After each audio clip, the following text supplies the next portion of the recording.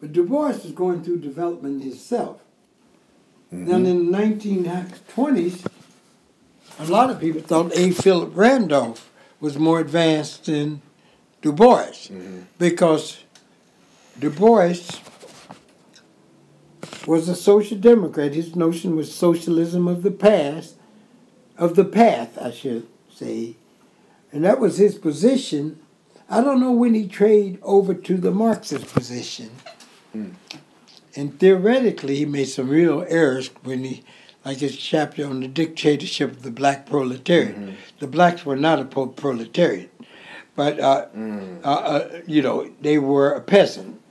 So all working people are not proletariat. Proletariat is a technical term for uh, workers who are divorced from the means of production and are forced to sell their labor, labor power. And this is this is in his Black Reconstruction. Yeah, yeah. He he modified that. He changed in subsequent footnotes. Uh, he said he, he admitted he made a, a mistake with that with that statement in the first edition of. The, he didn't change the de- black pro the, the black Reconstruction, but he qualified that. But Du Bois, but Garvey's movement, first place, it started in the 1890s, and I find it disturbing in Pan African movements when the blacks, going back to Paul Cuffe and other, their Pan African movement was a Pan Negro movement. And the even Stokely had that, and the concept of a black nation. Now, when the African nationalists came along in the latter part, the first person they ran into difficulty with was Edward Wilmot Blyden. There was two articles in Journal of Modern because they did not and do not today support all African nations. They did not support Kwame Ture. There was an article in uh, Journal of Modern African Studies comparing the Pan Africanism of Du Bois of uh, Nkrumah with the Pan Africanism of Nyerere, which is different. I don't want to get off on that tangent though. Now the point is, Du Bois came up through the movement. First, he was with the Afro American League. He was a youngster then, because in the 1880s, didn't he born in 1868? Hell, he must have been less than 20 years old.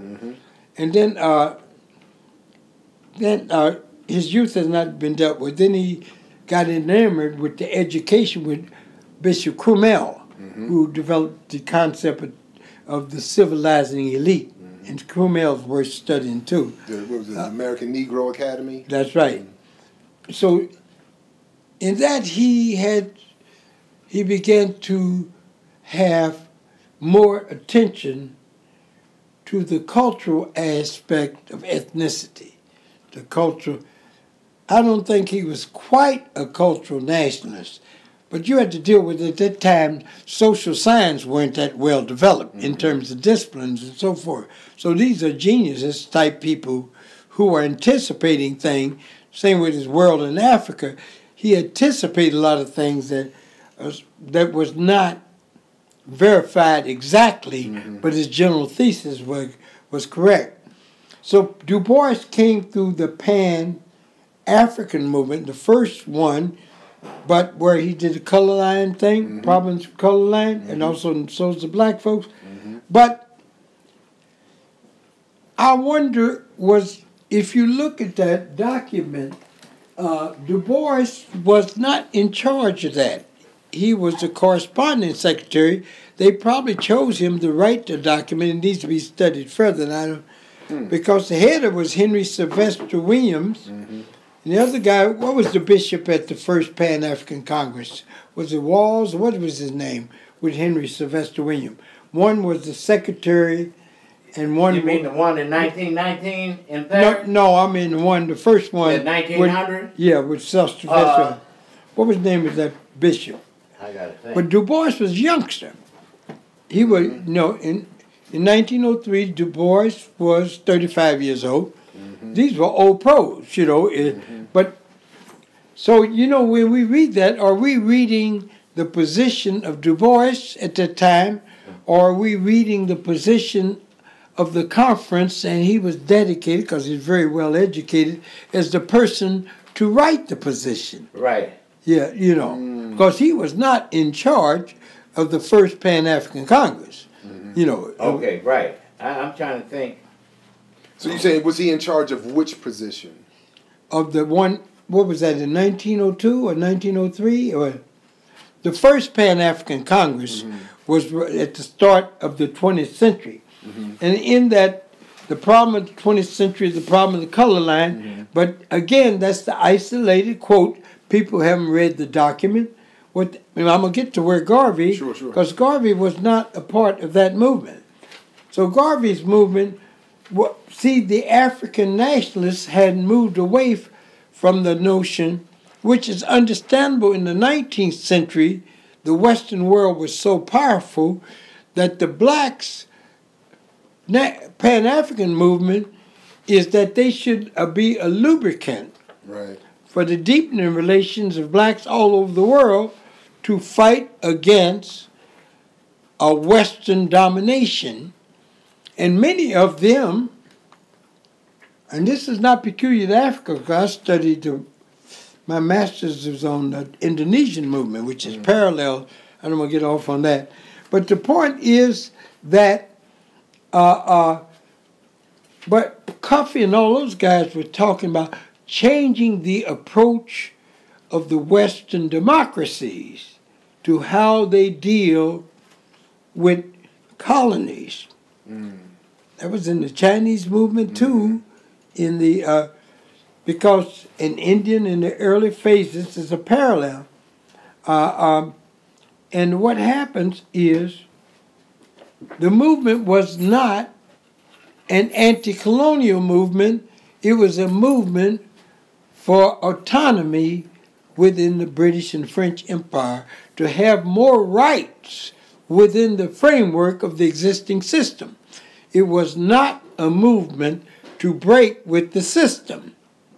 Now, in the Pan Af, and you saw that in, if you read the whole document of uh, the first Pan African Congress, they were calling for something that the Congo should, Belgium should give that up, and that'd be an independent state. But they also called for the British and the French to change their policy toward the colonies to give them equal rights within the framework of their respective empires. Mm-hmm. Incidentally, that was the same thing in the American colonial movement. Mm-hmm. The American colonial movement during 1776 did not call initially for separation. Mm-hmm. It called for equal rights to Britishers, Englishmen overseas, right. and in to that you had in England, and not to have oppressive laws. And it took Thomas Paine and others with his common sense to convince. Right. No, you, you common sense tell you these people aren't going to give you your rights. So common sense tell you gotta that you you got to take it and separate. But number two, so Du Bois is having this movement, uh, is a part of this movement, and then uh, the Pan African, then Martin, uh, in a sense, Garvey is a resuscitation of the notion of the Pan Negro movement, mm. of a Negro nation. In fact, Garvey actually said, Don't you see? This is not as big a threat to you as these anti colonial African nationalists who want to separate from your empire. Mm. Now, Garvey never advocate that Africans separate from the empires of the West. Check it out. Maybe I'm wrong, but there's no evidence that he ever advocate. He advocated a Negro nation that can relate a pan Negro whose borders are not just the United States, and it kind of privileged the positions of of Negroids in the diaspora. Implicit it. Was not only in Du Bois, it was implicit I mean Garvey, it was implicit in Blyden, it was implicit in Crummell. The civilizing mission. because all of them accepted the fact the best system in the world. Now, Crummell was uh, Anglophile, was British democracy. British democracy. And we don't want to separate from that. We want to have you to give us equality within the framework of your system. And this is not peculiar. This to, is this is your this is what you're saying is was Garvey's yeah. So Garvey's flaw, movement, so to speak, it, well, you or could call it a flaw. or however you want to describe it, or difference. difference in the split mm-hmm. because Du Bois's movement was never a pan Negro movement. It was not a movement to change the relationship between blacks in the diaspora and blacks in Africa. It was a movement for African independence, which is not the same. Now we have that problem today. But I'm maybe I'm wrong. I don't. I, I'm not arguing that you're wrong. I'm. I'm. It's. It's probably more likely I don't understand. But. But.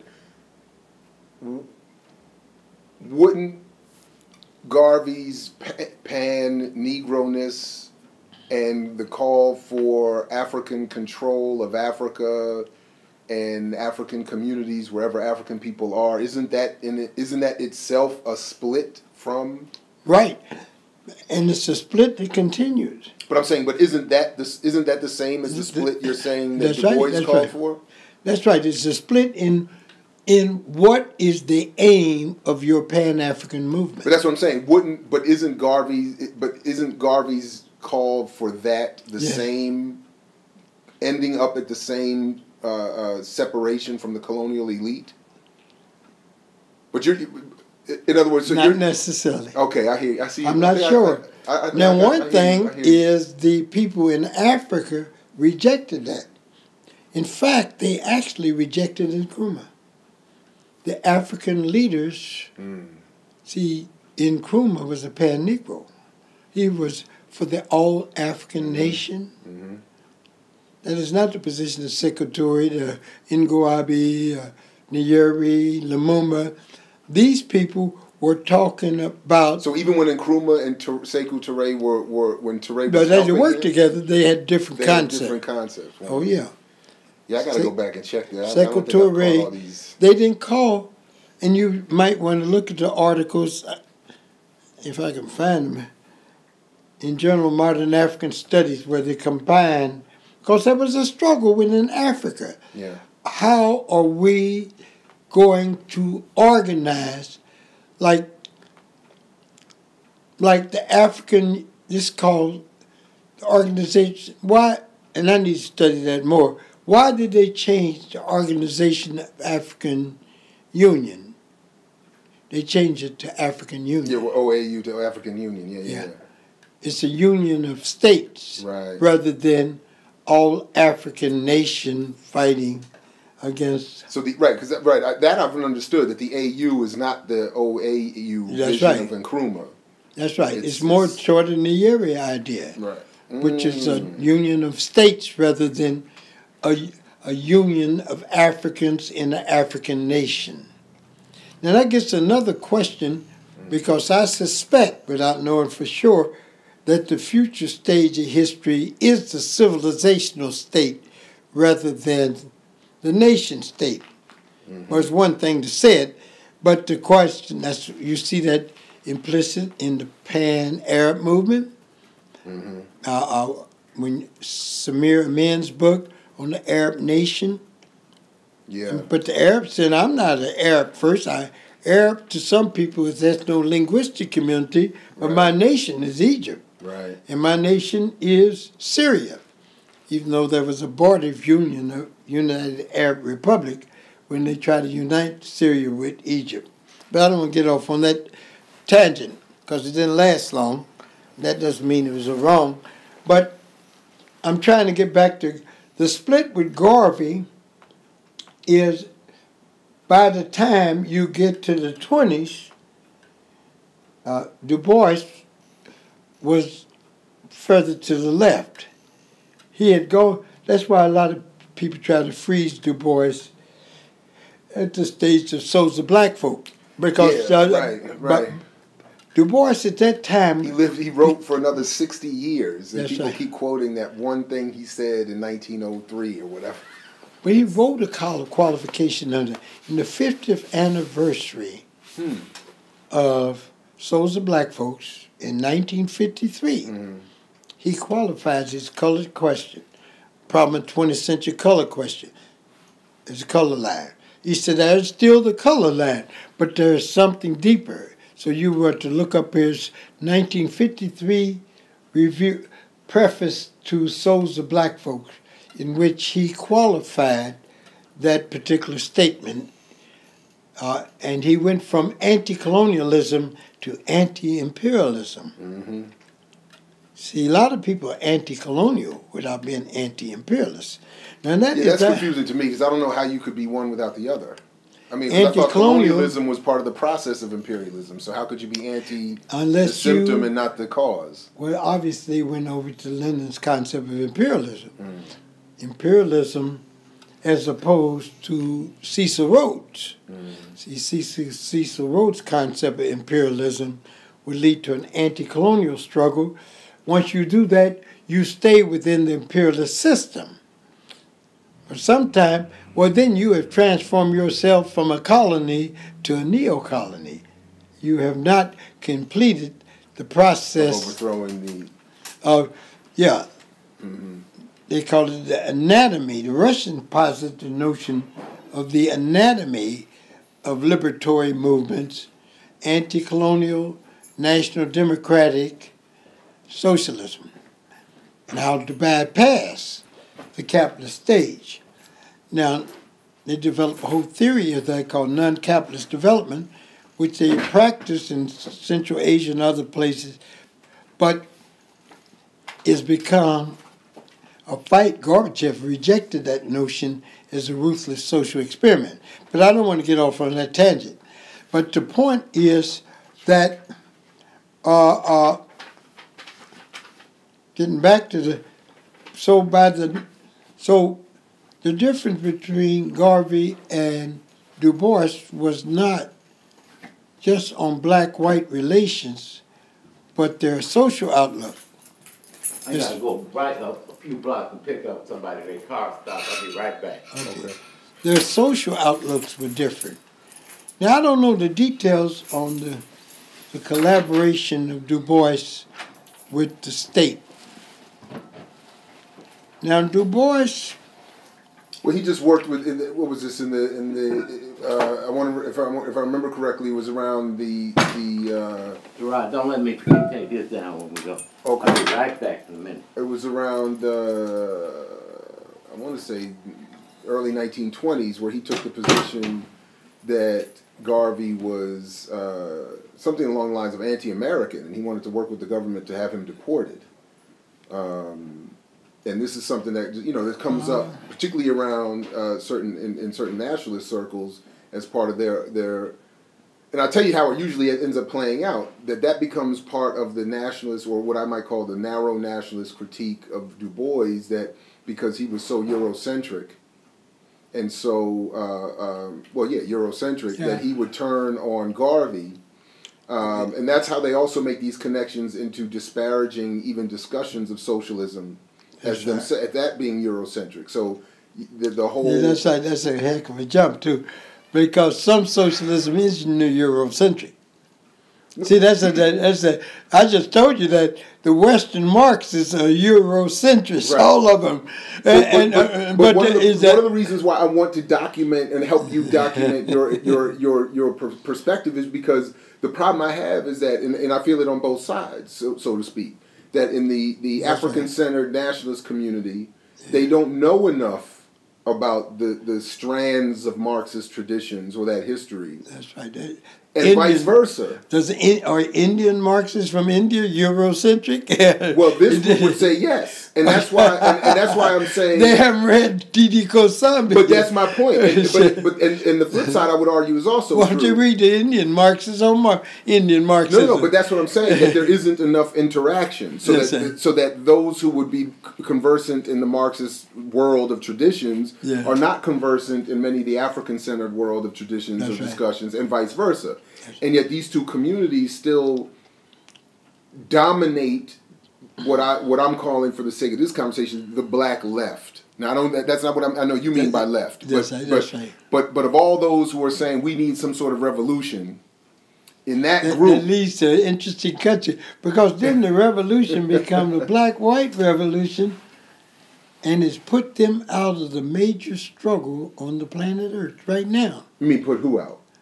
The black nationalists. Mm. because the major struggle against Western domination is not a struggle between blacks and white. It's a struggle for the multipolar world order, which is anti-Western. It is not anti-Western. Mm. It's anti-Western domination.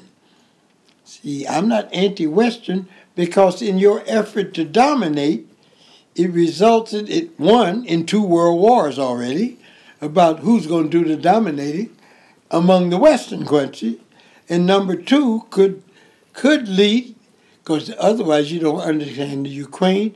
And I never forget with the Arab Spring hit me immediately. Well, how are we going to sabotage the Arab Spring? Mm-hmm. Because we cannot have the Arab people overcome all these autocratic governments in unity because that would mean that we would have a situation speaking in terms of political economy there's a new field called geoeconomics incidentally Right, right, right. uh, in which if the Arabs did like, or the OPEC countries did like China, we had to just own international financial architecture. It would change the whole character of the world. Namely, example, Mm. you know, China has three and a half trillion dollars worth of currency reserve. I'm, I don't want to get off on that because that's going to be redirected. It's been basically flowing into bonds and so forth. Do you realize the OPEC country has twice as much? They got seven trillion dollars worth of currency reserve. The OPEC nations combined. that's right. Yeah. It's not mostly Middle East, but the, you know, there's Venezuela Right, and so that's forth. That's right. If they redirected, can you imagine what they could do with their country if they used that money for domestic development? It was to change the whole, but it was change the whole. They can, we can't. We would prefer them to have chaos than do that. That's why mm. we can't deal with Saudi Arabia, who's the biggest call it. and that's why I don't want to get off on too much of a tangent. The only country that was not using the majority, and everybody's stealing, hmm. including Libya's people. So that's a whole nother question when you have a state sector. Right, right. That's that's under socialism too. Somebody gonna be stealing the state treasury. I don't know. Of course, in China, you get caught. They, they said they you get the death You- you sentence. sure do. That's right. they they get the death. over there. But still, people gonna steal. They gonna Of course. They, they think you ain't gonna. well, we know very well. In this country alone, the death penalty is not a deterrent. that's right. That's It's right. just not. So As we used to say, the cynic said, "Honesty is the art, art of not getting caught." Yeah, that's right. But That's right. you don't get caught, you're still honest. It's not a- Uh, right, it- it- that's the, right. the ubiquity. I don't want to get over the corruption Yeah. because everybody. What's that in the paper today? Somebody somewhere in some country, uh, or I know it down in Venezuela. That's some people stealing Of like. course. So, but that. But that's why I always like that line, and I bring it up all the time in these debates that I have. That that, that Kwame Ture said. I love that line. You don't judge socialism by socialists any more than you would judge Christianity by Christians. You That's judge it. them on their principles. That's right. You can't judge them on their application. Uh, otherwise, we'll get bogged down. We can't we can't move anywhere. Uh, And you, that's the what that, and that's what's it, what's that? That old famous play, Dead Souls, mm, I don't know. by Gogol, uh, oh yeah, a don't know. nineteenth century Russian writer. Yeah. But it's really about a person using all these dead people to save on his taxes and so Oh, wow. forth. So you're not going to eliminate it. So the, all you got to do is contain it and then prosecute it with an attorney. I don't want to get off on that tangent. But so you getting back to the Garvey Du Bois, I think Garvey went to the right. That is a pattern in black not all black hmm. leaders, including A. Philip Randolph. Hmm. A. Philip Randolph was to the quotation mark to the left of Du Bois, anti-working class position, anti-black position. See, Du Bois had nuance on that because he says, yeah, but what about these trade unions and this racial exclusivity? I support trade unions in general, but I don't put support trade unions who excluding blacks from the workforce. Does that mean? Good morning. How you doing? All right. Is Dr. Worrill? He just ran out to run an errand. Uh, he said he'll be Good. back shortly, though. You, welcome. So, so you had that differences. Now, now what happened is, so in this, but what happened with Garvey, he appealed, it's what you call peasant nationalism, Mm. because he appealed, and they, and it happens all over the world, is that you have what you call populist movement, and I use that word advisedly because ruling class calls all movement of the people populist movement.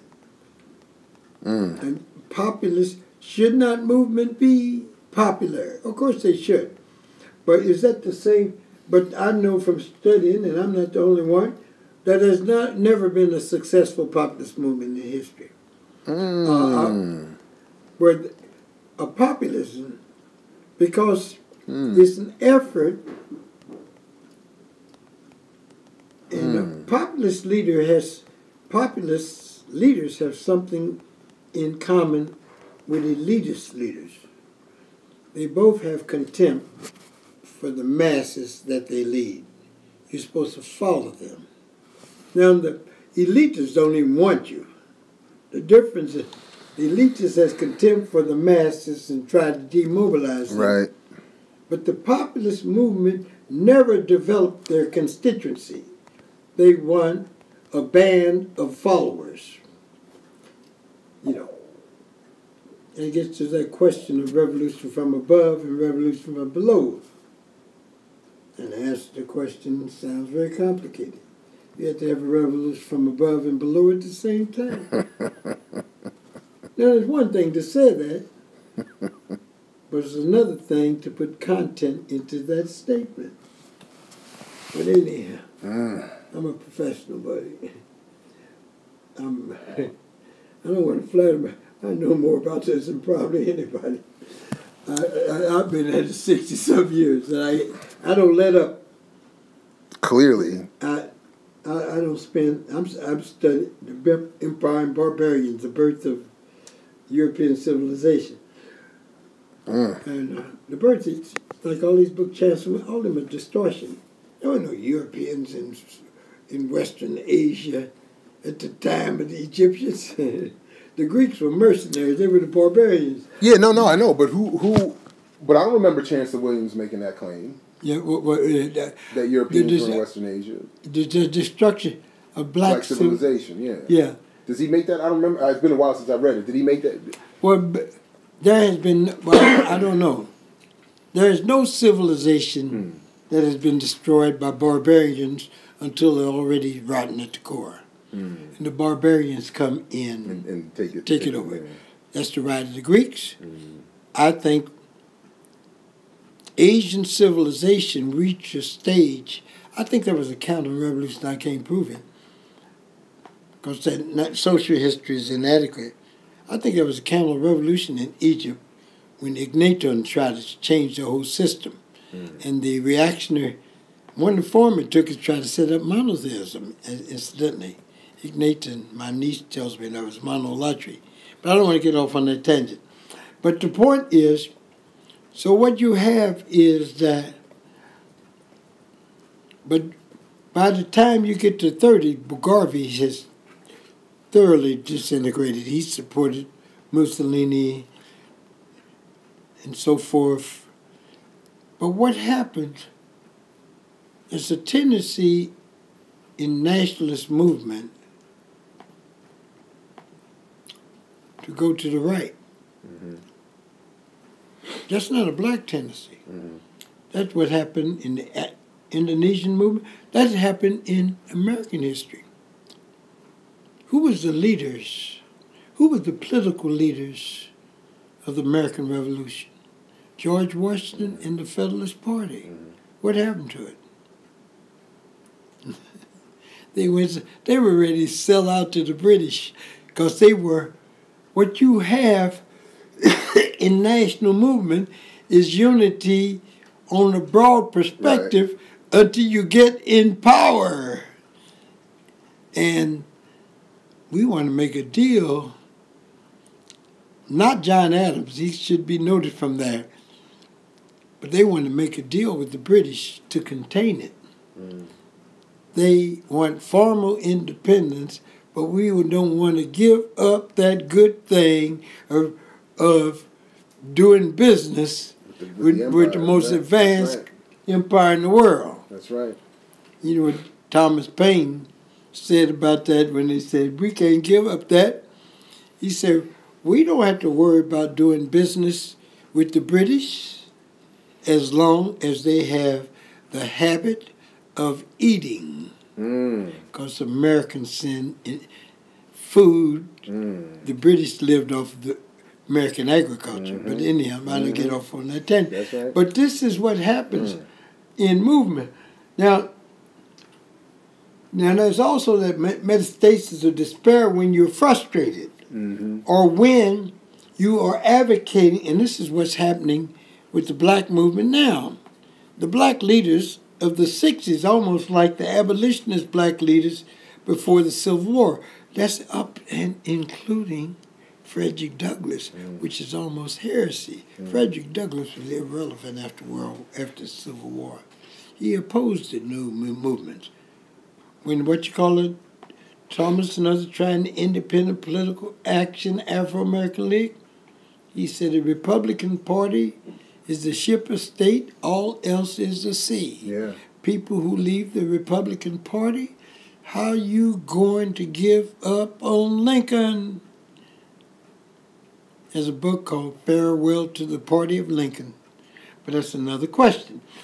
But uh, uh, uh, uh, the uh, Wow, and that represents that represents a tremendous problem still to this day. because these people think, and sometimes people want to resuscitate movements in the past. A lot of black leaders, especially some older guys, I'm not an older guy, I've just been young a long time. I have my illusions, at least. you gotta laugh at this It's bullshit. Yeah, yeah, yeah, yeah. But they want to bring back the movement of the 60s. It's over.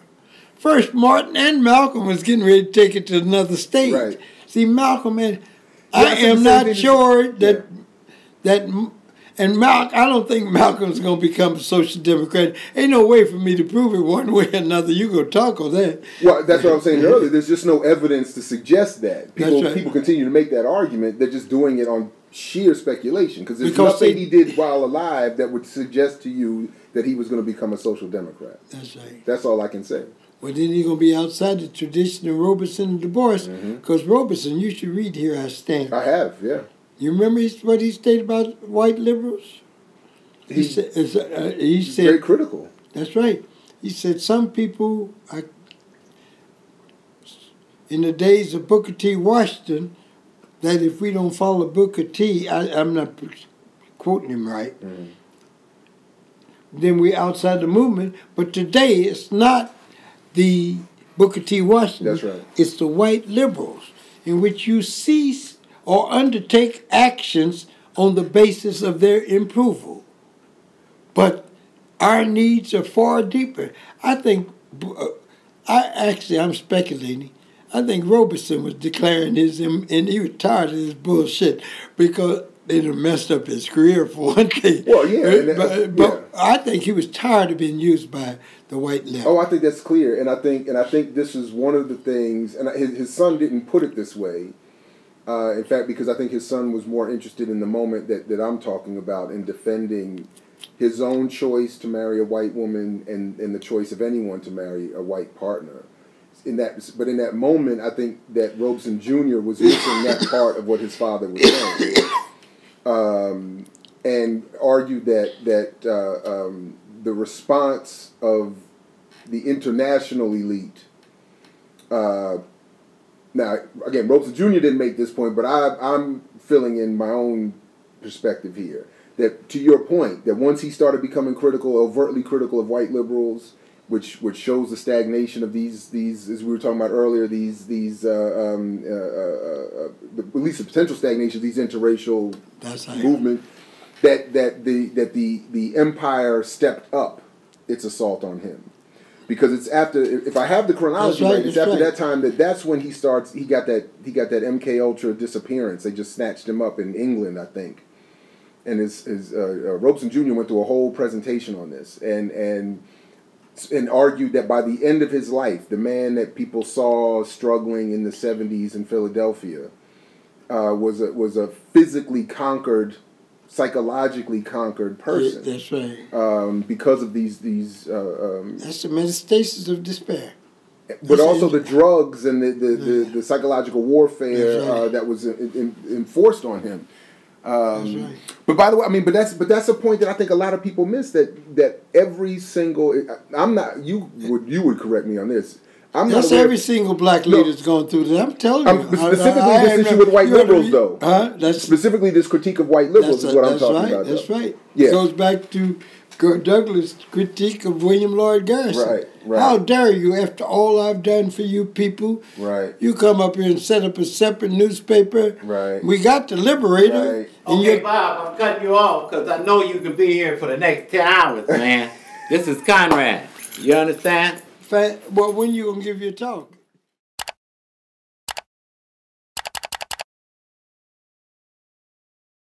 what what we're trying to do today is to put in in context the 21st century where we are as African people, whether in America and Africa, Latin and Central America.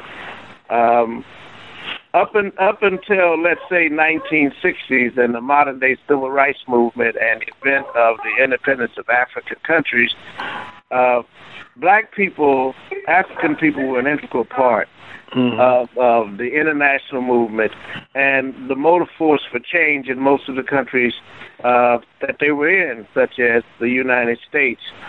Now we see um, that that there's very little connection between the African American community, the African community, and Latin America in the dialogue that's going on around uh, the making of a new global economy.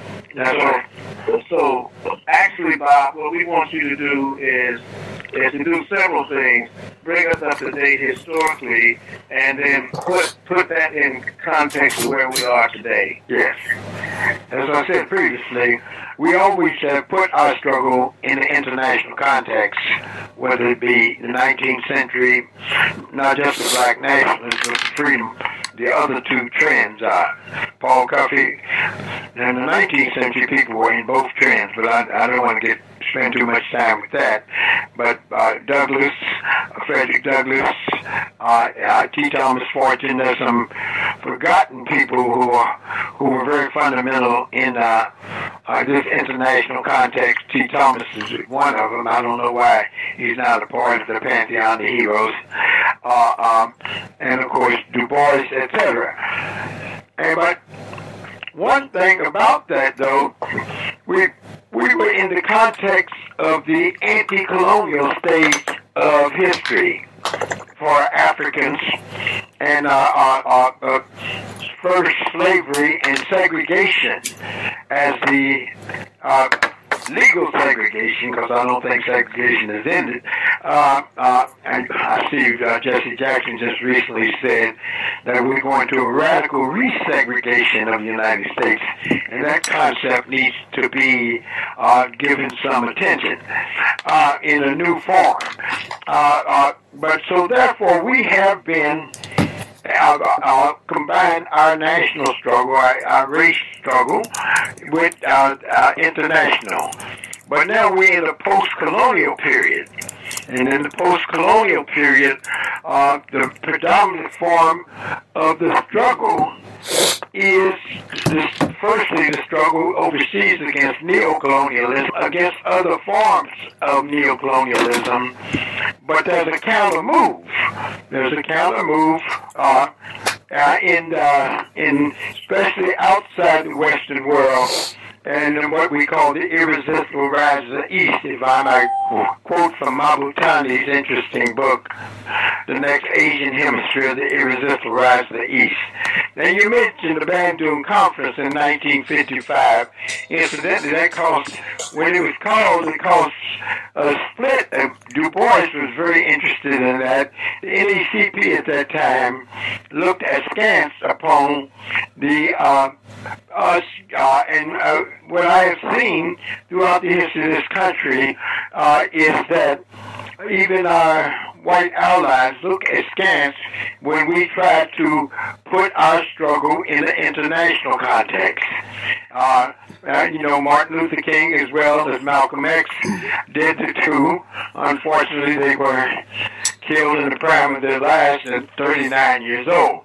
Uh, um, but so therefore, the, but, but there's new task because not only we're in the post-colonial period, but we seem to be, and I use these words advisedly, in the post-industrial period uh, in society. And this has implications as to strategy and the so-called end work phenomena and how Afro-Americans fit within that, especially when and I hope there is another trend uh, in relationship to the Western world.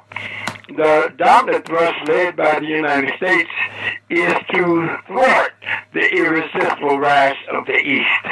Uh, to quote Mahbub Now they can't stop it. Now at the 55th, at the 50th anniversary of the Bandung Conference, they called for an Afro-Asian strategic alliance. Now, this strategic alliance was not a military alliance. They were talking about uh, a South-South dialogue, as they call it, and new forms of resistance to the economic domination of the Western world. And um, this, uh, this indicative that they did not intend to leave Latin America out. Uh, within a month after that meeting, they met, and that was in, in 2005.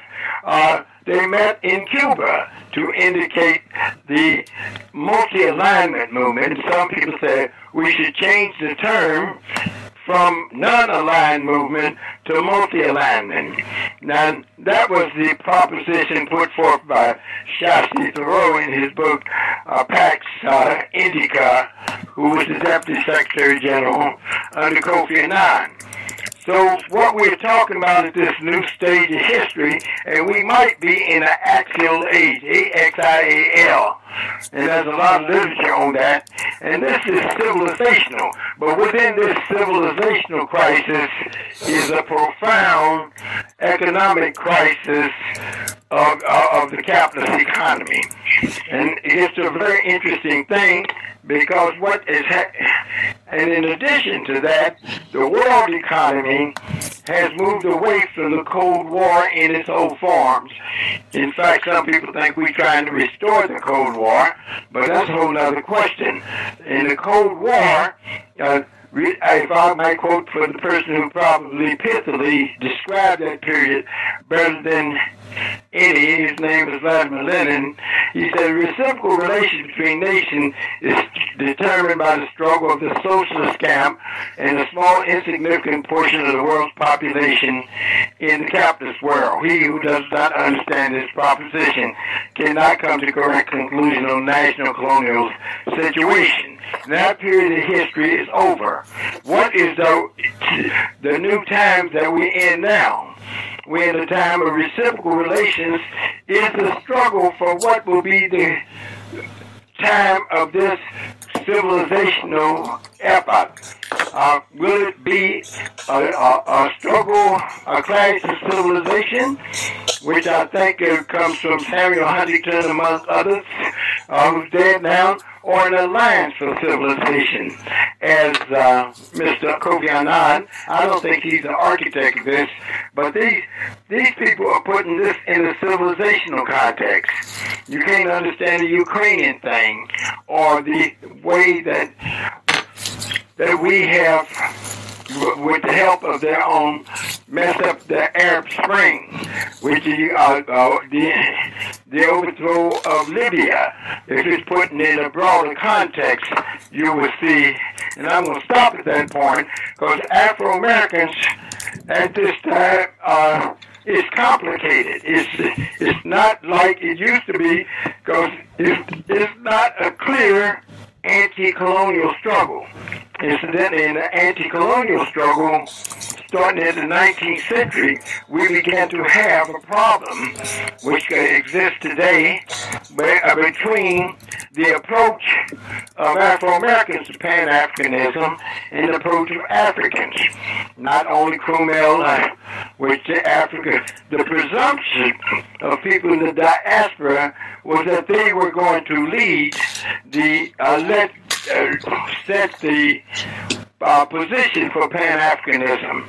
And there was a split between them, and as well as with Edward Wilmot Blyden, because they did not accept what is loosely called the Pan-Negro approach, which Du Bois had for a while, but he eventually moved away from it.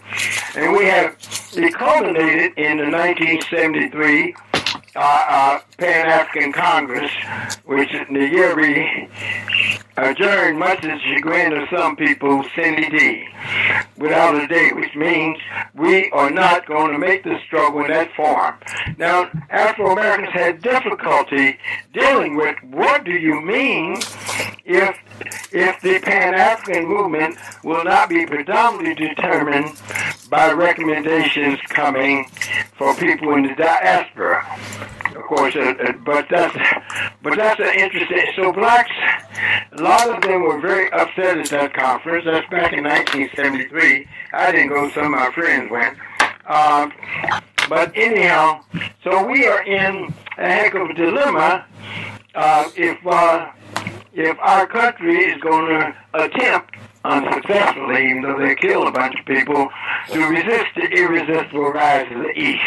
Bob, let me let me let me just stop you uh, for mm-hmm. a moment. Ask you to maybe clarify a couple of things you said. There. All right. For those of you on the phone, uh, after the first hour, this, we scheduled to go for two hours.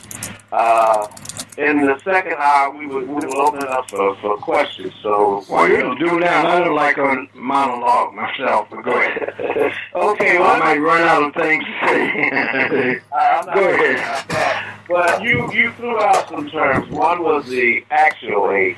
Yes. Uh, and the second thing, you tried to put the Ukrainian situation into a broader historical uh, context.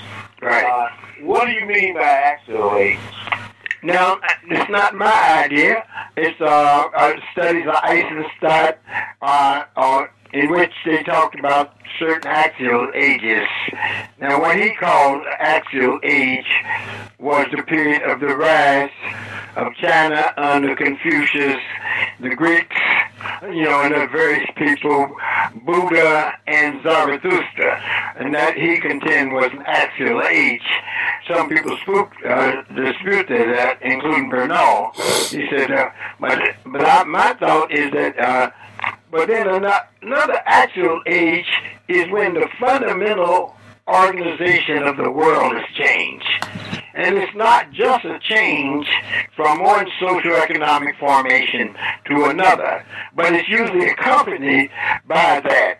And uh, but but if you're in such an age, the birth of the new age can lead to a time of trouble. I think we are in a time of trouble because uh, people don't want to give up uh, their privileged position in the world economy.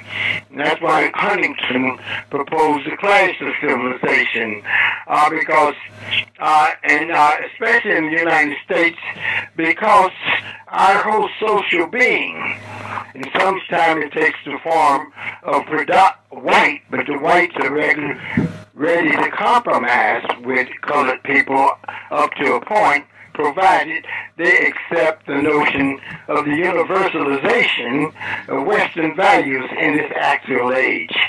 But an act that means the world will change on its axis. We've had previous one, the rise of the West was an axial age.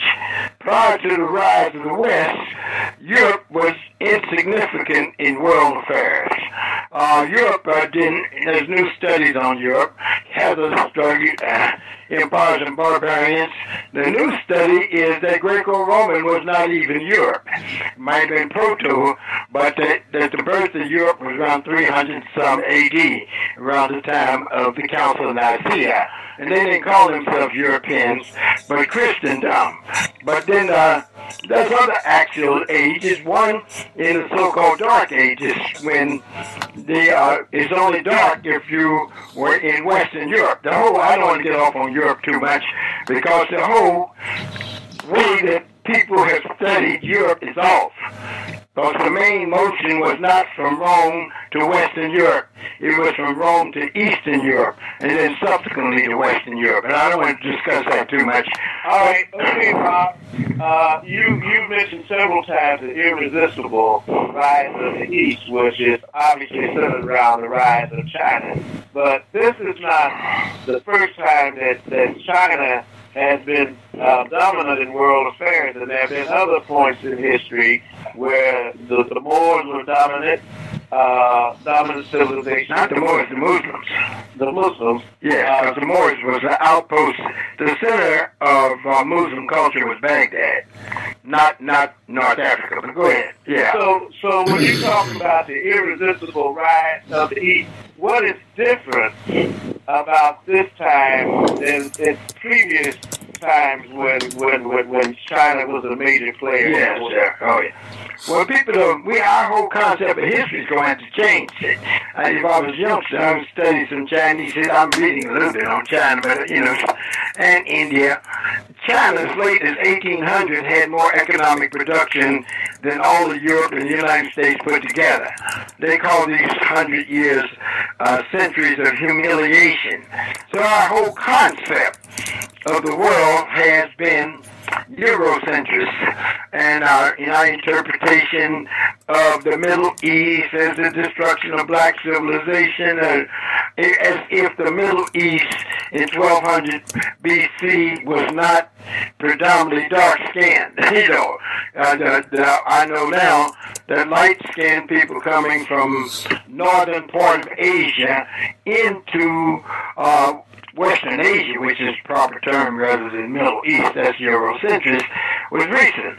So, um, so what you have is the it's a period of history which we think is normal, but it's only normal for a certain period of history. Now, uh, uh, now, what is happening is what will be the forms of transition that will allow the human race not to destroy itself with interminable wars is not a clash of civilization, but an alliance of civilizations. And that's what the BRICS rep- represent. Uh, uh, which is called for a multipolar world order. It's not exclusive. You can join it, uh, even the United States, if you decide to accept the fact that you're not the only indispensable nation, uh, which is hard for people to do. Now, it's hard for, uh, so there's been other periods like this. Uh, uh, there's probably, I think, the rise of ancient Egypt and Harappa and all around 3200 BC was an axial age, and uh, uh, predominantly in. Then you get into Southeast Asia, which is a, there's a book by Oppenheimer called Eden in the East, which the Chinese are not ready to accept, is that this civilization actually started in Southeast Asia rather than further north. But anyhow, so in these ages, you not only have a, a change in civilization, but it's usually accompanied by mass changes in population location. Uh, like in Europe, they call it the folk wandering, the wandering of the people. uh, in which large number of people from Asia moved into Europe to intermingle with the light-skinned African-looking people who already live there, but that's another question. So in these ages, you usually have, and that's why we had to deal with that in terms of migration problems. If you put them in a broad context, and some people in power know it, there's going to be tremendous changes in locate in demographic changes, in changes in level of productivity. Now we are actually in an age where with our level of productivity, we could there's no reason for there to be poverty in the world. That's why you have these proposals, millennium development strategies, sustainable development strategies, and others, uh, which cannot be done in relationship uh, uh, to uh, without a fundamental change in socioeconomic relations. And one of the features of this axial age, which is in an incipiency, is the rise of possible civilizational states. There's only two now, China and in India. And other aspired, European aspired to that with the European Union, but they can't go to the next stage because they're trying to have a civilizational state on neoliberal principles, which they can't do. Uh, uh, and, that's a, uh, and that's a problem that they have to wrestle with or else. And I'm going to tell you this, the key to the Western civilization not declining will not be determined by what happens in the United States. The center of Western civilization is Europe, and it consists of three component parts. Europe, North America, excluding Mexico, and Latin America, presumably Judeo-Christian civilization. Now, the Muslim civilization is in a deep-seated crisis, and the people are going to play on their disunity to try to prevent them going to the next stage of history. Now, if we were uh, uh, uh, really internationalist, civilizational internationalism, uh, then we would have helped the Arab Spring move to democracy. And that's a tricky question in terms of democracy as an ideology. But that's another question. But I don't know when I answer your question. Well, you, you, you mentioned, you, you keep mentioning, you, what is, how do you define a civilization, civilizational state? You mentioned China and India. Yeah, because they have a state, uh, and India is not a nation state. You know, see, the nation state, that's an interesting thing, because the nation state, as a stage of history, was only occurred in Western Europe. And with uh, the, the so-called Westphalian phenomena, where nation state, national boundaries, and so forth. The question is, and and uh, I would say, as a result of transplantation of Western civilization in a different way in South America, they had a nation state system. Now, Africans, now all these countries, as a result of uh, being civilizational states, and it goes back thousands of years, going to have a bunch of boundary problems. Because in pre-capitalist societies, you don't have national boundaries. The first time you had national boundaries as a principle was the Treaty of Westphalia, which ended the uh, 30 Years' War in Europe. But the notion of the inviolability of frontiers, it took them 327 years in Europe before the establishment of national boundaries that they ended boundary disputes. But uh, uh, Russia contends they are a civilizational state, that they are Eurasian civilization, which has a tricky question and call themselves a multi-confessional civilizational state, namely because they have Christians and Muslims and Buddhists in it. And they have to work out that so the problem of the 21st century will not be the problem of the religious line. That's a whole other question, because religion might end up being more important than race in determining international disputes in the 21st century. Uh, if, uh, but that's another question that we have to deal with. But uh, Africa, the whole pan-Negro concept, you had that with the pan-Arab concept too, was the concept of creating a civilizational state, because Arabs were not a nation, even though Samir Amin calls it the Arab nation. But that's a tricky question. Uh, uh, uh, and we, some of us call Africa the African nation.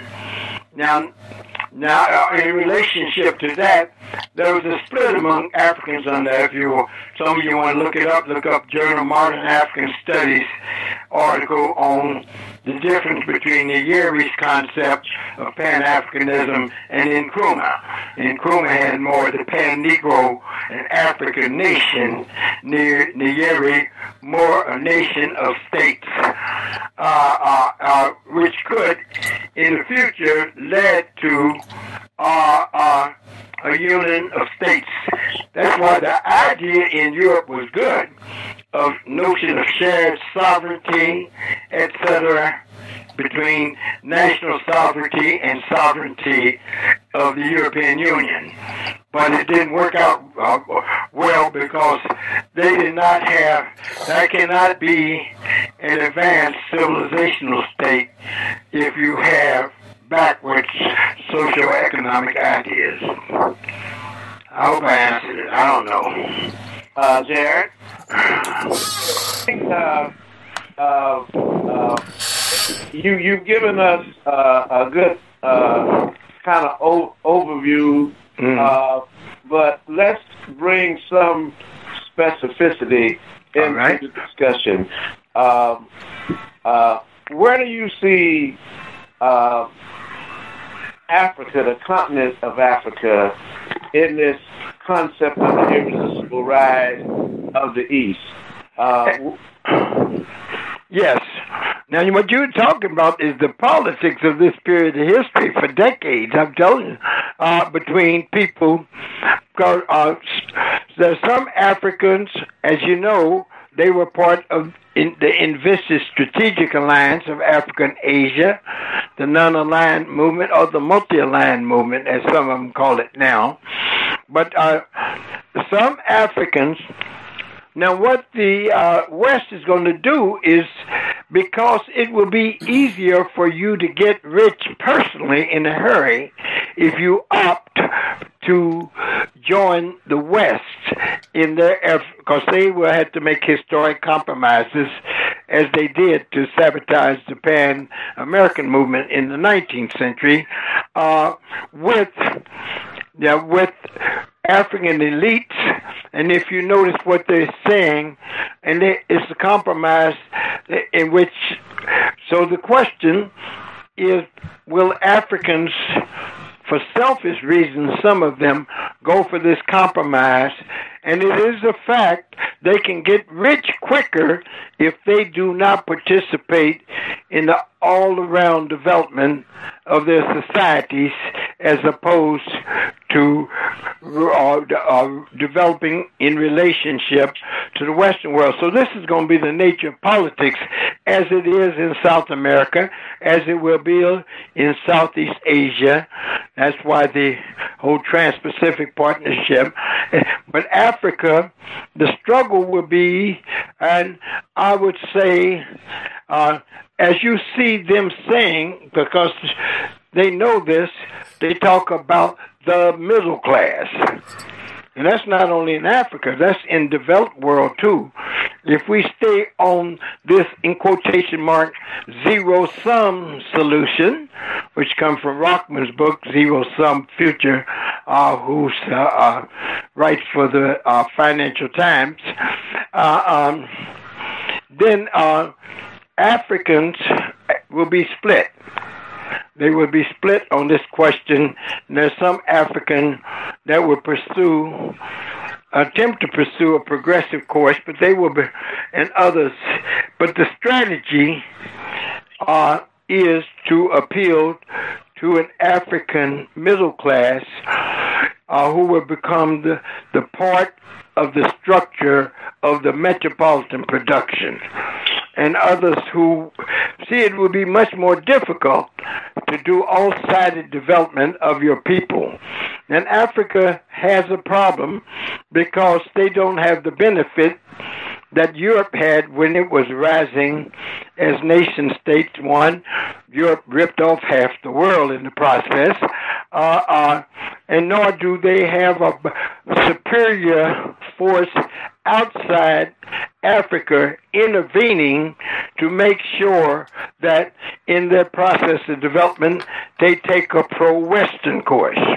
As I said, I don't know of any any Western countries taking who have a pro-Eastern strategy, which to me would be more conducive to world democracy, since out of seven billion people on the planet Earth, at least six billion people don't live in in the West.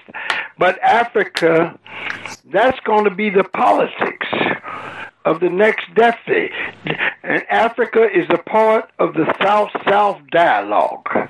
Now, now, as you know, one of the BRIC nations is uh, South Africa, and Brazil is, and uh, I see their strategy is to use these places as ways to get other countries on the continent to join their multipolar initiative. Brazil in relationship to South America, more so because they're much bigger. But in this f- framework, what you are what you're talking about is the politics of probably decades. This is not something that is going to be solved by somebody sitting down and coming up. But what so Africa does fit in because everybody knows Africa eventually going to be more populous than India and China.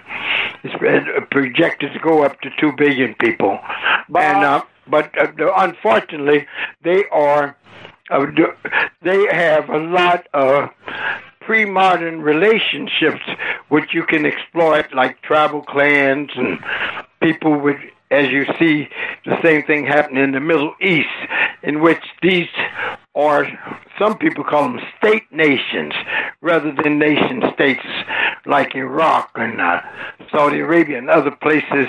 But the logic of of a, of a strategy, if they lean toward a true pro-Western position, is to become failed states, uh, uh, because uh, it was the, the strategy will not lead to the all-sided development of the continent.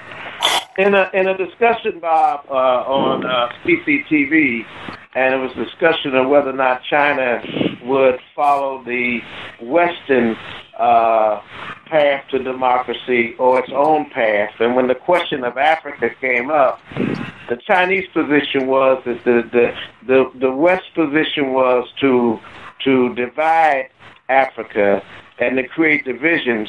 And the Chinese spokesman said China saw the unity of Africa as being in the interest of the future of the world and in relationships with China. What do you think about that? Yeah, yeah. China has a win-win strategy. Now you have to understand China in in terms of you can't have a win-win strategy if you take the capitalist path. Capitalism is a zero sum game in its cell form. Say stock market. How do you win on the stock market? Is to bet against somebody who loses. I mean, so the whole elementary you can't have a win-win strategy so is china is a civilizational state but china and india too in a different way. But china is more homogeneous than india because the historic policy of the chinese to assimilate the ethnic groups that they conquered. That goes back thousands of years. That's why the han nationality is the biggest nationality on the planet. And uh, but that be will be determined by some, which I don't know the answer to, uh, state capitalism. What is state capitalism? Now, some people say state capitalism is the same as capitalism. No, state capitalism has existed going back to the ancient world, where you use the state to accumulate wealth. Whether you use that state uh, to accumulate wealth to bolster a slave system, a feudal system, a capitalist system, or a socialist system. As you know, what's his name, Lenin, he was kind of advanced. He said, we want a state capitalism hedged with conditions that will go over to socialism. Now, these are very sophisticated, because there's one thing to say that, but China can have, you can have a win-win situation if you the criteria, and this is what has happened with the Asian uh, Investment Bank. The criteria is that the state sector will be at the commanding heights in determining policy, even if and but whether or not China and China got to keep together a civilization, because there's much difference between Yunnan and Peking as there is between Norway and Italy, even though they're all a part of this civilizational state.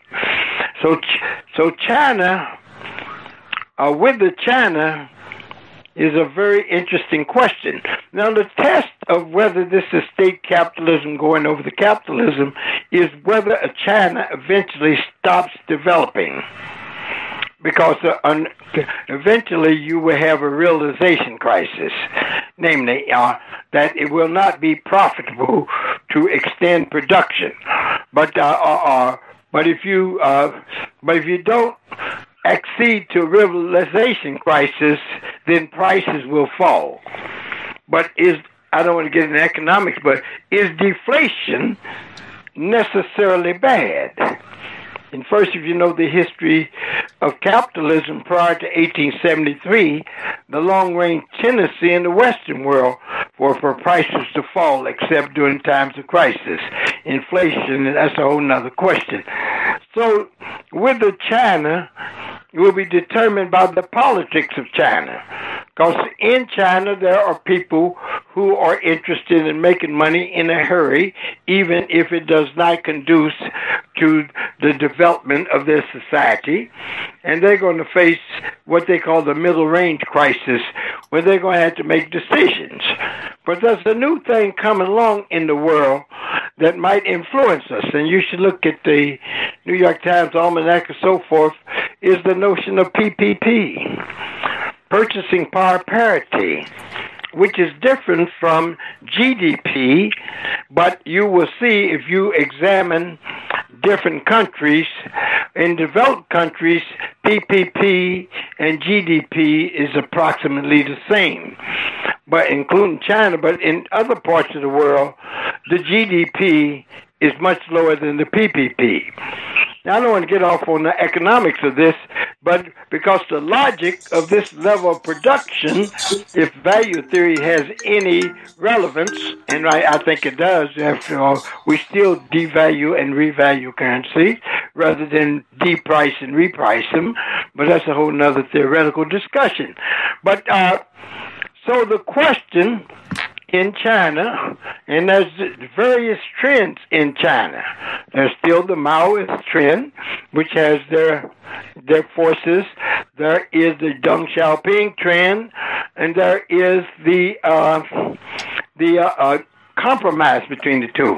Now, I think what has happened in China, and I think is what is being tried in Russia. That's why we do not want Russia's in the intermediate period. But uh, so this is a question that will be determined by the struggle between political forces in China, which way they go, not only in relationship to Africa, but uh, South America, etc. At this time, if you notice something about Chinese development, I just saw read in the Wall Street Journal yesterday that China is using their currencies to buy real assets.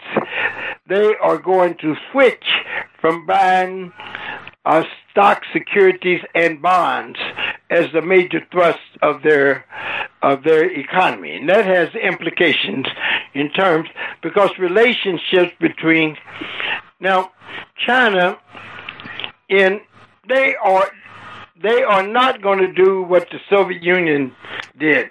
They are not going to make national sacrifices for the international cause. I don't think any other country will ever do that again. So no, no use. But the Russians did make national sacrifice for the international cause, much to the chagrin of a lot of Russians, who are, and some people think that might be why they got in trouble. So, uh, so the, you're talking about the politics of this epoch. This is the politics not only of Africa, but the politics of South America, the Brazil, and what you have, I think, is a historic compromise, given the relation of forces of which progressive social oriented states had to deal with the fact they are in a capitalist world and how they make these compromises through all compromise when they're necessary. You should always advance your interest as an art to compromise. I don't know whether i answered the question but how well, does africa now africa can go the way it's done before. Firstly africa probably has more natural resources than, than the rest of the world combined that has not been explored.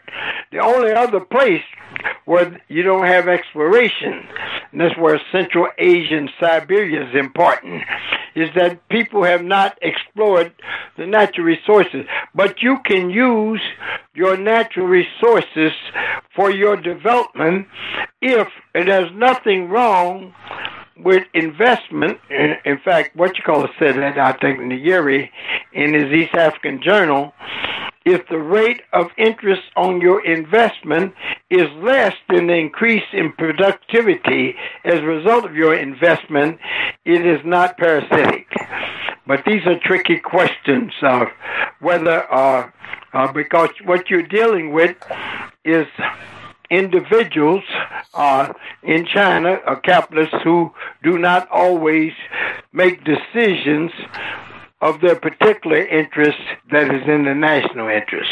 If, if I hear you, if I hear you uh, uh, correctly, and maybe I'm not, you you tend more towards Nyerere's position on the development of Africa than than Nkrumah's. Well, in relationship to uh, state formation.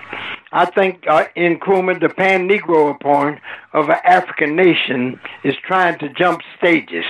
We've seen that over and over again in pan Arab movements that we're going to jump stages. They attempt. I don't think you can jump stages. That uh, uh, that you have to go through uh, a nation's uh, a pan Africanism of nation states rather than an African nation.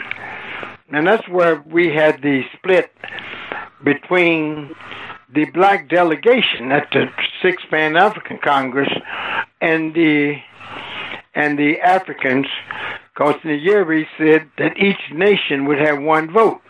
Now the Af- black delegates wanted to vote as individuals. He said, you know, you run a South Side uh, poverty program. I get one vote, and Nyerere, you the head of the country, you get one vote. Now they didn't find that too pleasing, but I, I but Nyerere's uh, Nkrumah's was more idealistic. The probability of there being an African nation is not probable at this stage of history. We are hoping that places like Nigeria and other places can proceed from state nations to nation states because we have within these countries ethnic groups like Yoruba vis-a-vis the Igbo, etc., uh, the Hausa, and the, and hopefully will not lead the probability of uh, civil war, which will hurt their country. And uh, uh, but see, people try. It's idealistic. The same thing happened in the Pan Arab movement, because what you have in these early phases of these movements is probably Western Orient intellectuals, but they who have uh, idealistic uh, notions of what the future will be, but it is not expressed in the sentiment of the rank and file peasant in Syria or Iraq or so forth. They they don't consider themselves an Arab nation. Some of them don't even consider themselves a Syrian nation, much less an Arab nation. That's another problem. The same in Africa, uh, uh, is that uh, you had the, the development was the opposite of in Europe, where you had some people call them state nations rather than nation state, where you had a centralized state before you had a nation. If you studied Western Europe, uh, the nation existed before the nation state. Uh, uh, and uh, uh, and the rise of the nation was connected with the overthrow of feudalism. The nation. Well, do, you see, do you see Pan Africanism as an obsolete ideology, or do you see that it still has relevance for the development of Africa and Africans in the diaspora? Yes, I think Pan Africanism still has relevance, but it has to have a new social content express, expressing the new stage of history. You know, the whole now the Pan Africanism in the 19th century, and that's why you had a clash toward the end of the 19th century, was based on the notion with Paul Cuffe and Delany and Garnet of the civilizing mission as we used to say, the three C's civilization, commerce, and Christianity.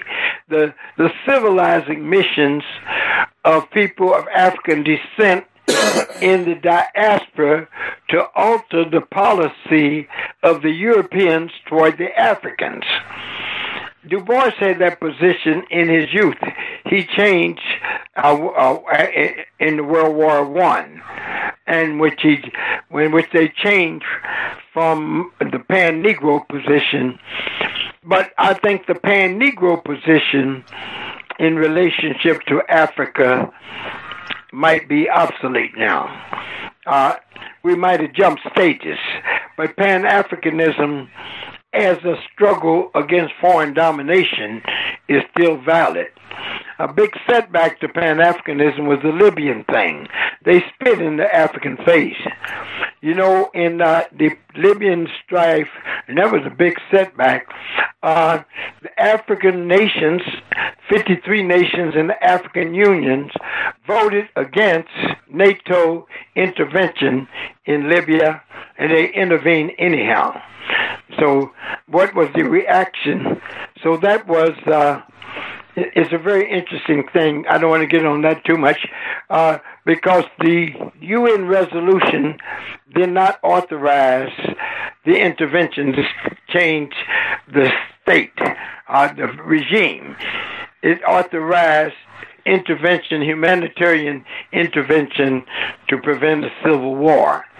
But the Africans uh, ha- have a problem of their unity uh, as states. They also have a problem as uh, of the unity within the states, and uh, it requires some. Because I hope they don't go through what the Arabs did. The man, the, the intervention in in the Arab awakening uh, was uh, a tragedy to the 360 million Arab people. I hope the same thing doesn't happen in Africa. Hmm. Why do you say it was a tragedy?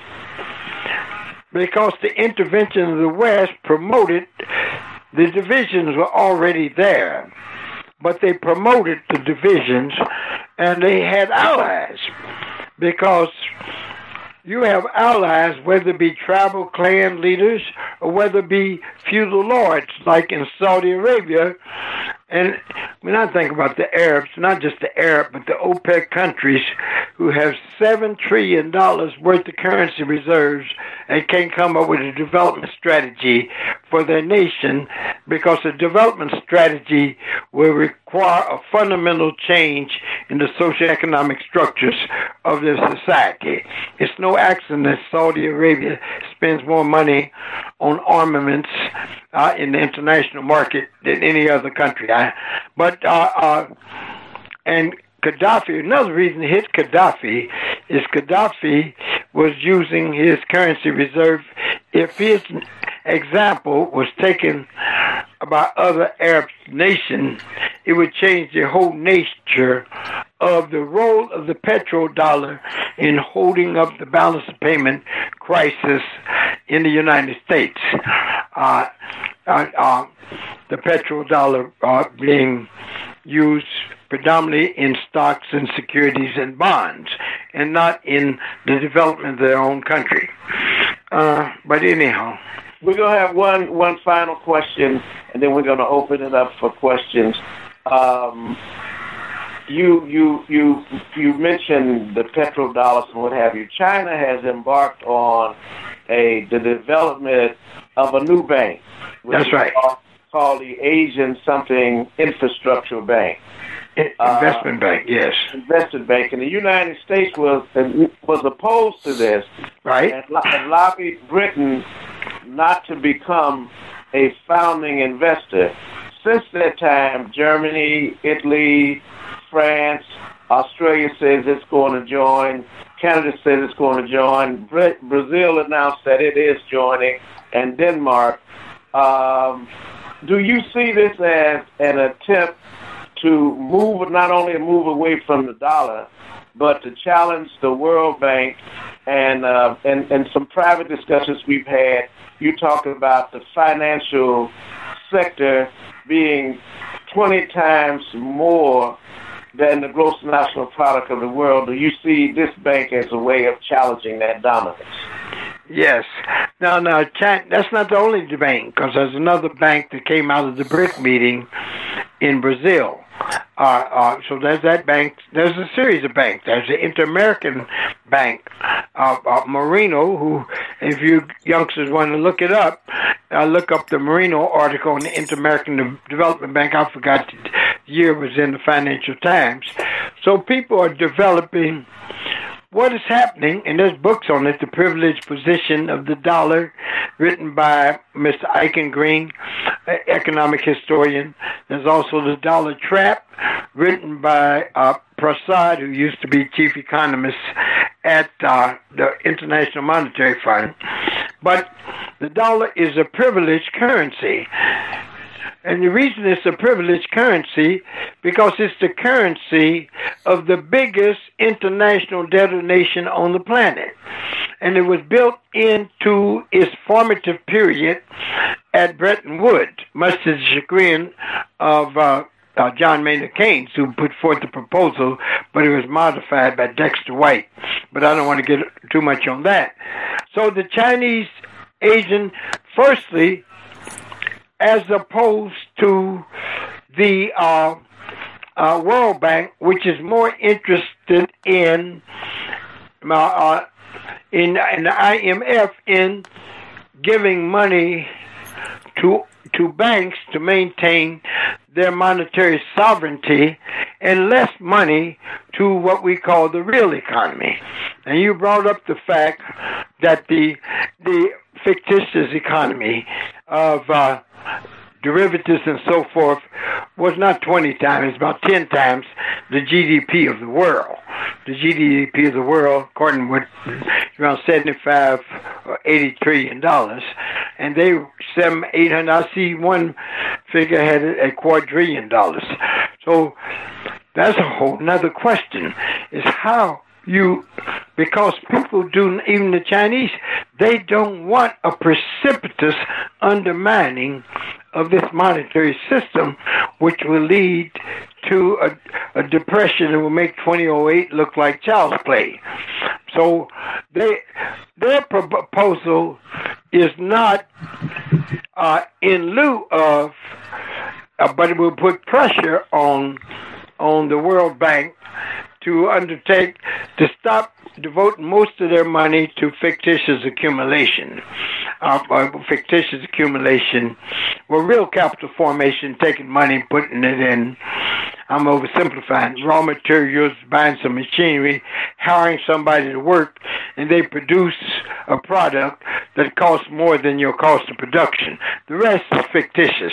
It doesn't mean it's bad because it can be a lubricant, provided the lubricant is not 10 times bigger than the automobile is lubricated. So that's a whole nother question. So I think that the Chinese strategy, that's not the only strategy. There's also a strategy of a Chiang Mai initiative. Chiang Mai to get Southeast Asia out of the soup of U.S. forming out their dollar crisis on other countries. Chiang Mai is a soup, but it's also a country in Thailand where there was initial proposal to have uh, an Asian regional currency comparable uh, to the euro.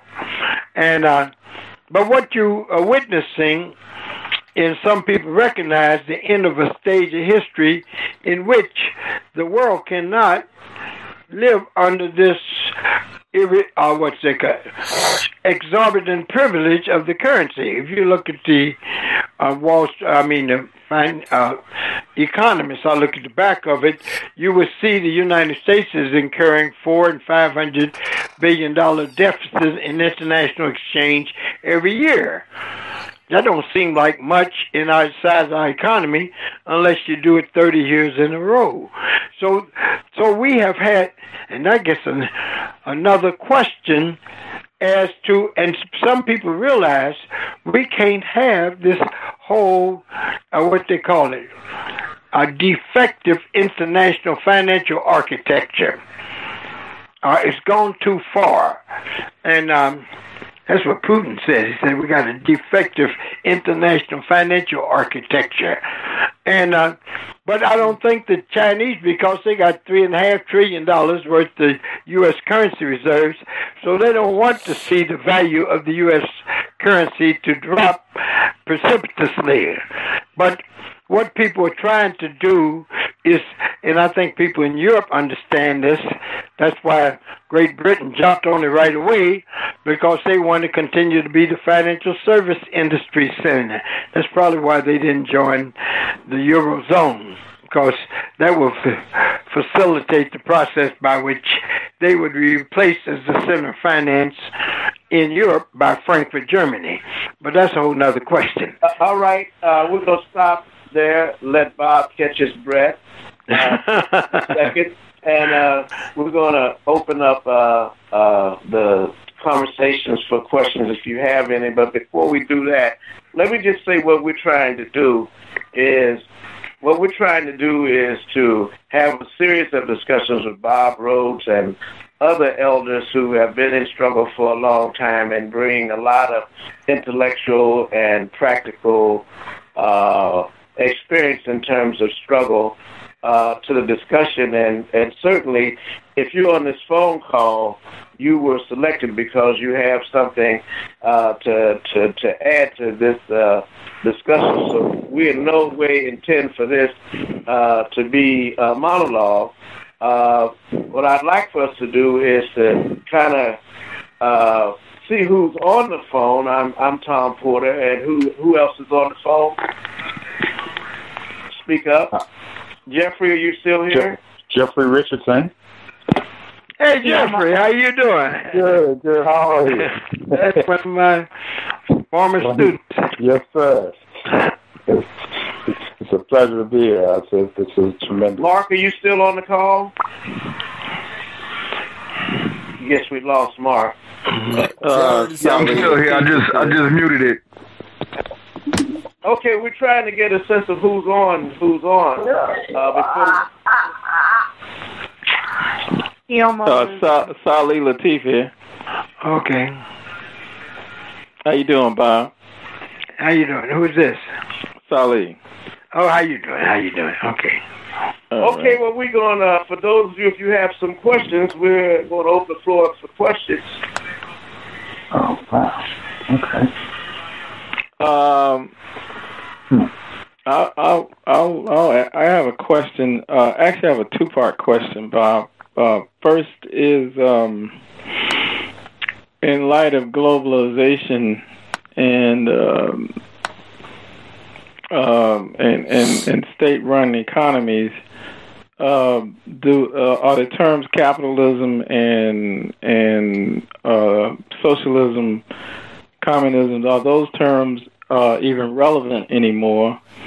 And then the second part of the question is, um, I've heard you say in the past that there are no more national economies.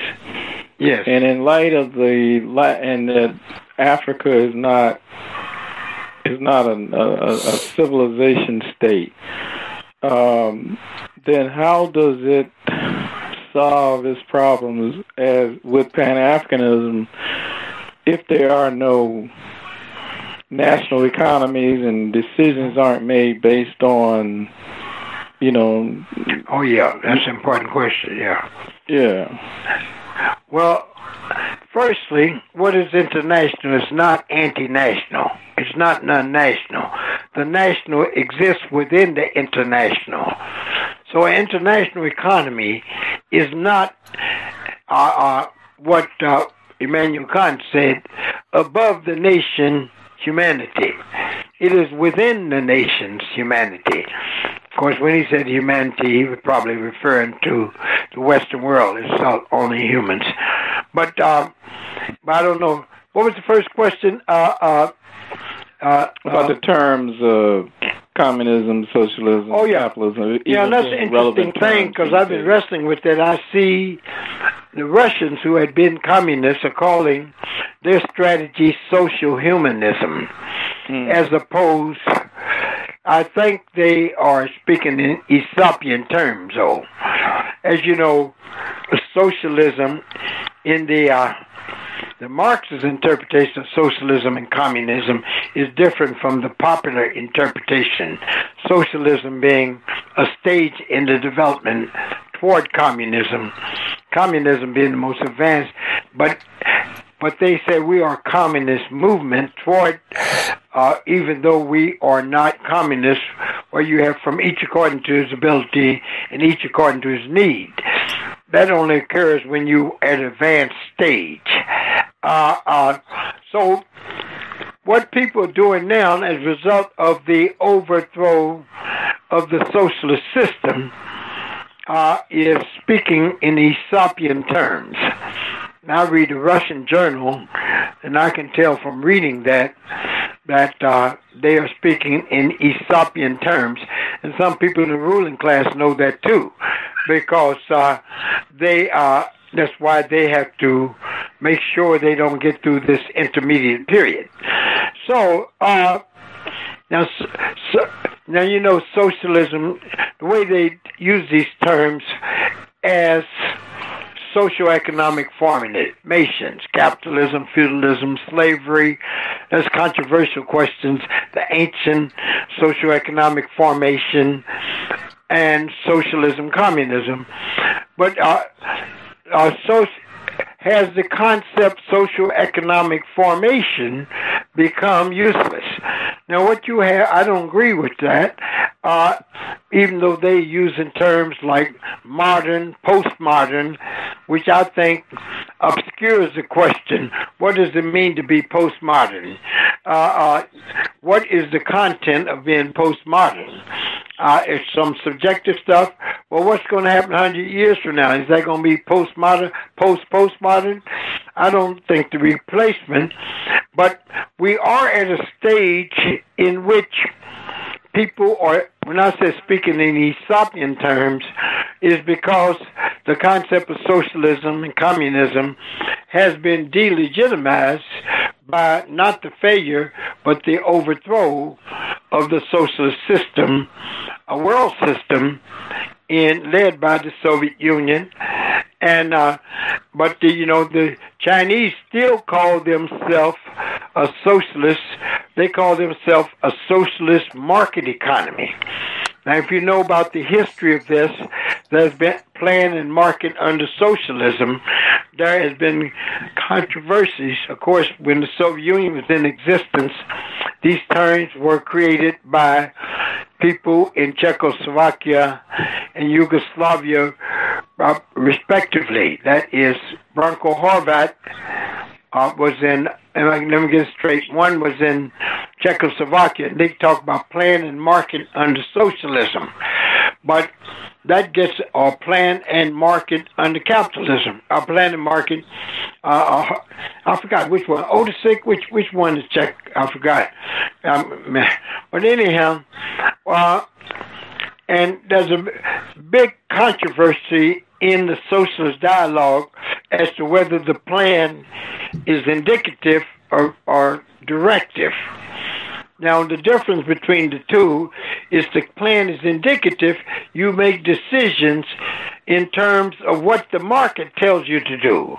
That I mentioned in regard to China, uh, because the market will tell you if you are interested in price formation that your economy is overheated and you have to cut back production. But if the plan is directive, you will go further in economic development even if prices fall. Now, now this is starting to happen not just in in uh, in Russia and China, but in Japan, which has gone through a deflationary process for 20 years. Now, the logic of this stage of history is that there should be a deflationary process in the Western capitalist economy, which was overcome by this massive fictitious accumulation as a result of derivatives and so forth. And people don't see that properly. It is not just because of the greed of people in these uh, private equity funds, sovereign wealth funds, and so forth. It is a necessity to maintain the rate of profit by fictitious accumulation. That's the term that Steinbrück, the uh, uh, finance minister of the Social Democratic Party. Yeah. So what what what we're here having is moving into an intermediate period in which the forms of transitions were not anticipated by anybody nor was it anticipated by socialist thinkers what would be the nature of the socioeconomic formation at this advanced so-called post-industrial society. I don't know whether I answered it, but anyhow. The next question on what was the next question was on. Uh, well, you, you had talked about uh, Africa uh, using uh, using Pan Africanism yes. to solve their problems in light of the fact that there are no national economies and that, uh, that Africa is not a. Uh, well, when I say there's no national economies, it does not mean that there is a world economy separate from national economies. I meant by that that, and the same in the United States. As big as the United States is, uh, there is no solution. There is no nationalistic solution to this world crisis. It has to be solved in relation to other nations. That does not mean, and I'm not recommending that nations cease to exist, but the nations should exist within the international. Uh, uh, uh, and uh, uh, as they said, there was two tendencies under capitalism: the tendency to create a national economy, and the tendency to create an international economy. The first tendency was most pronounced in the early period, national economies, and the second tendency is the dominant tendency in the world economy. Uh, the international elements of the economy is growing more rapidly than the national economies. And uh, what happens is, and some people know it, that's why we have a pamphlet put out by NATO uh, called Political Economy and National Security Neoclassical Realism. Now, when I read that pamphlet, I said, what are they talking about? One thing they're talking about is national security is related to what type of political economy. So when we talk about preserving our national security, it's the it's, it's not preserving our national security against attack militarily by a foreign power, but our national security requires that the world economy will be in conformity with neoclassical realism, which neoclassical is the is the conservative form, the extreme form of neoclassical is of course uh, neoliberalism, but it's not coterminous with that. But number two, what is realism? Now they probably got it from Kissinger and all those guys who are which comes out, they used to call it realpolitik, uh, which was the philosophy of Treitschke and others at the turn of the 19th century uh, to justify German imperialism. Now, uh, we, but we speak in uh, Aesopian ways, or maybe with forked tongues, which is uh, might be better. But realism is people saying that you are not following a realistic uh, policy in your country if you do not accept the fact that you are not conforming with neoclassical norms, which means we have a right to intervene in your country and overthrow it if necessary. But go ahead, yeah. Uh, I don't know whether I answered your question. Well, next question. Uh, else have a question? Yes, yes, I have a question. Um, good evening. This, my name is Chioma, and I have a couple of questions. I really appreciate this discussion, um, and I'm glad you just touched on neoliberalism, and, and I think you're distinguishing it from neoclassical realism, and I would like you to say more. But before that, um, the aspect of that that I'm curious in terms of your definition of internationalism is where privatization falls into this, which is what I perceive as eroding any national um, development, particularly in the southern hemisphere, right? And the other two questions, parts to my question are, you mentioned that they were accepted in Kuma skip, and I just would like you to say more about those steps. And um, and then the other question is, what are your thoughts on the new development bank that Nigeria just established, which you know is supposedly um, to speak to the needs of internal development, even as it's getting you know high fives from the World Bank and you know the African Development Bank. So just if you have any thoughts on that, if that's a positive step. And I guess there's a last question. I know that this discussion was um, essential around what the role of the diaspora is, and um, I would like for you to say more clearly what that what what is that role that you're defining in terms of the yes, political yes, economy. yes, Thank you. That's a lot of questions. No, no. Let's deal with. them. What was the first question? You don't to do the whole question. Well, I want to make sure. Huh? Privatization. Privatization. Yeah, that's an interesting question because privatization is the comes from the uh, uh, the necessity. And and uh, is an, is a hell of a scene because there's also prayers in, the crisis in Western Europe. Uh, before this crisis, Western Europe had 46% of their GDP in the public sector and uh, some more than that. I think France for 56%, so forth. So what happens is that we have a crisis in the public sector, which is not indicative of a problem of socialism, but a problem of social democracy. And that's a whole nother question. Uh, but the uh, privatization was built into the Maastricht Treaty, which was uh, which set up the eurozone, uh, which is built in repudiation of Keynesian methods, of Keynesian methods of using the public sector to rescue the private sector. Now, maybe I hate to quote him, but Soros in 2007 had an article and said we have traversed 60 years of history. And that's when we had the first recession in 47, 48. And that's a profound question. Has the public sector under capitalism ceased to be a way to solve the problems of the private sector? Uh, is and that's what you see is people talk about Keynesian methods are obsolete. I have mixed emotion on that.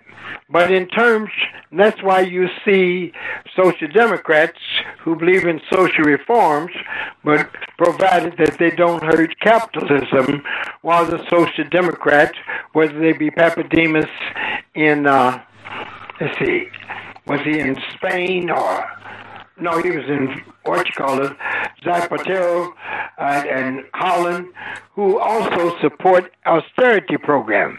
I think there's a crisis, a deep-seated crisis in the use of the public sector uh, to rescue the private, and it's expressed in the sovereign debt crisis, namely that the public sector is in debt.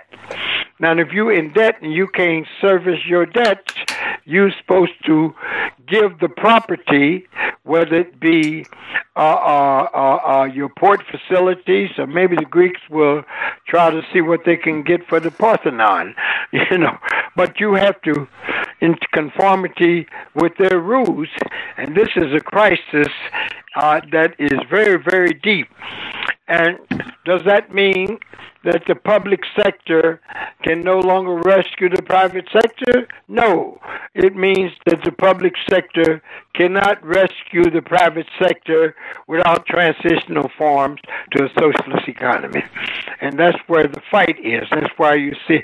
Now, our, our farm is not, never reached that stage in which over half the GDP was in the public sector.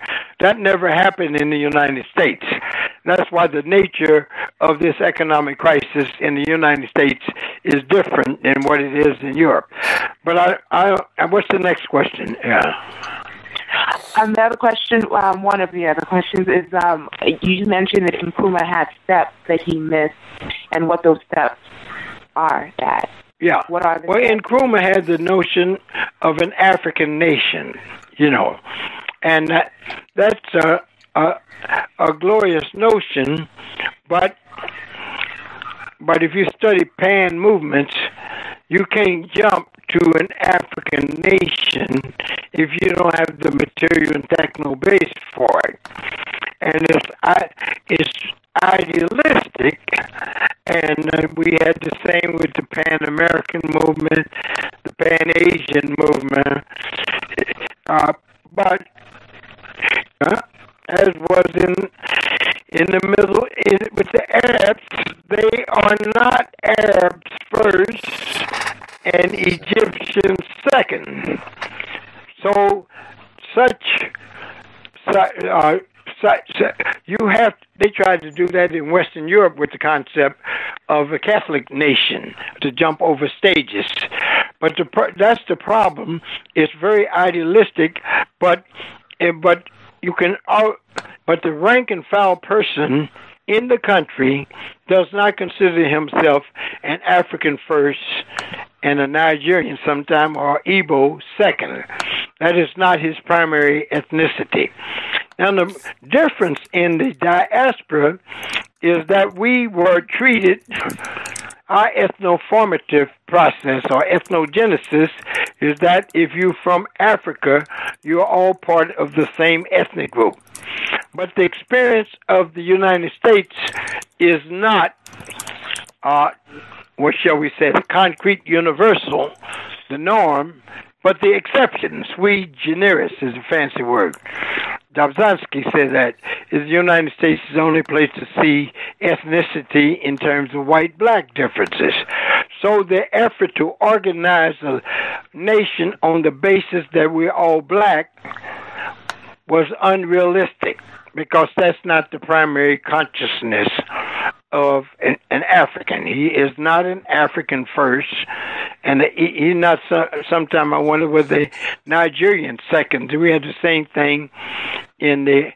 So what you see in all pan movements, they fall apart in their original form when they leave the anti-colonial stage. What we had in common in Africa is that we've all been colonized by the Europeans.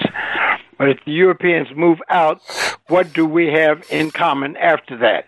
And it's almost the same thing with the Pan Arab movement and the Pan American movement. And Simon Bolivar is very instructive on that, uh, uh, the Bolivarian, when he predicted in 1826 uh, that uh, the United States is going to project America, because in 1826 we were not called America. Uh, uh, that comes with manifest destiny. In a morass of poverty in the name of liberty, because he recognized that. And what they did was uh, move toward a Creole aristocracy to develop a class of individuals who might be united by the obvious struggle against colonialism, but are not united on anything else. What's the next question? I don't know whether I answer it right. Yeah, uh, yeah, um, a lot, of, a lot. Um, but uh, the next question was uh, your thoughts on the Nigerian Development Bank, and maybe also tie that into then the role of the diaspora in defining what that role is. Yes. Well, you have to develop your national banks. Now, don't think that I or anybody else when I said there's no national economies. That is tricky because the national still exists within the international.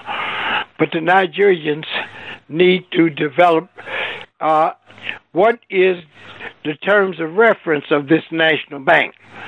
Because Nigerians have some problems in terms of how they have used their all wealth. Uh, they have been kind of kleptocratic, to put it mildly, is that a lot of the elites use the money engendered by the all to for personal aggrandizement rather than all-sided development of the economy.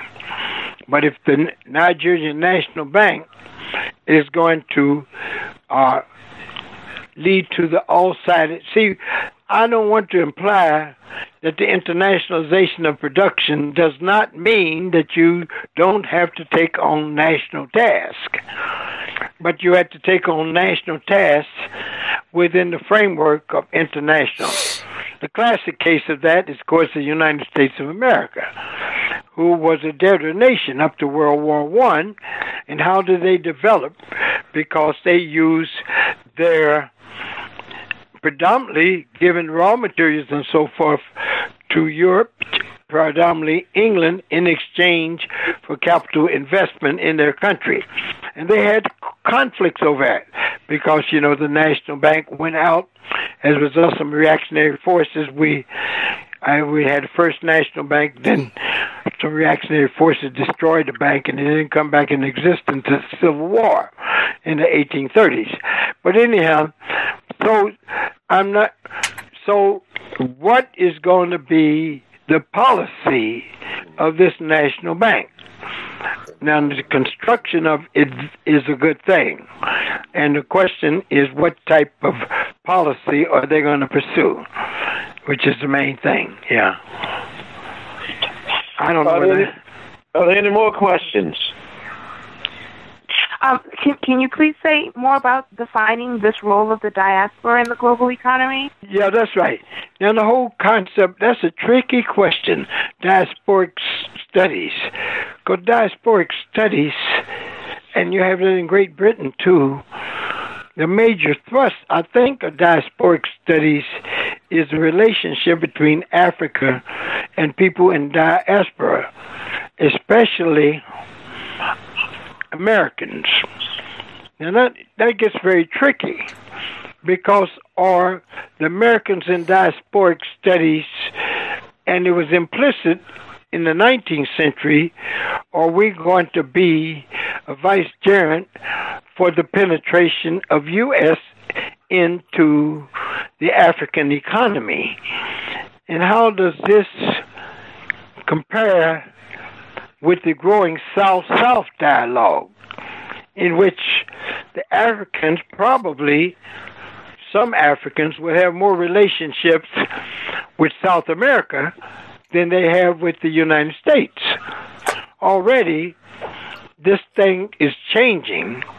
So the diasporic studies is based upon an effort to bring back the form of Pan Africanism that existed, I think, in the 19th century, which Pan Africa, uh, with implicit this whole three C's, as we used to call it civilization, commerce, and Christianity. Uh, these were the positions of uh, what's his name, uh, Paul Cuffe, who emphasized the commerce more, Martin Delany the civilizational aspect, and uh, Garnet being a bishop, the uh, Christian Christianizing Africa. That has some problems because uh, Africa, as you know, is split between Christians and Muslims. So now they're going to deal with that question, and also animists. There's some people who are neither Christian or Muslim.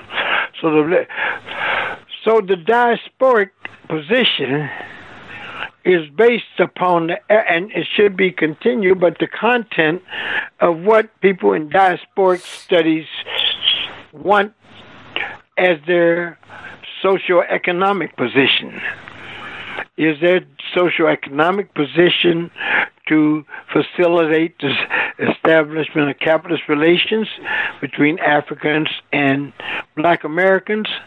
Well, that gets very tricky as to what form of that. So even in the diasporic studies, I want to know the political position or the socioeconomic position of the people who envisage these linkages. Are there uh, any, any any more questions? Well, well Bob, uh, there is a, a new thrust towards um, reparations, yes, uh, which uh, is led um, at least ideologically by uh, I think it's Sir Henry Beckles mm-hmm. Uh, out of Barbados, whose whose book Britain's Great Britain's Black Debt yes. be a, a, major piece of that. How do you see uh, this struggle for reparations yes. uh, as fitting into an overall uh, Pan African thrust in the 21st century? Yes.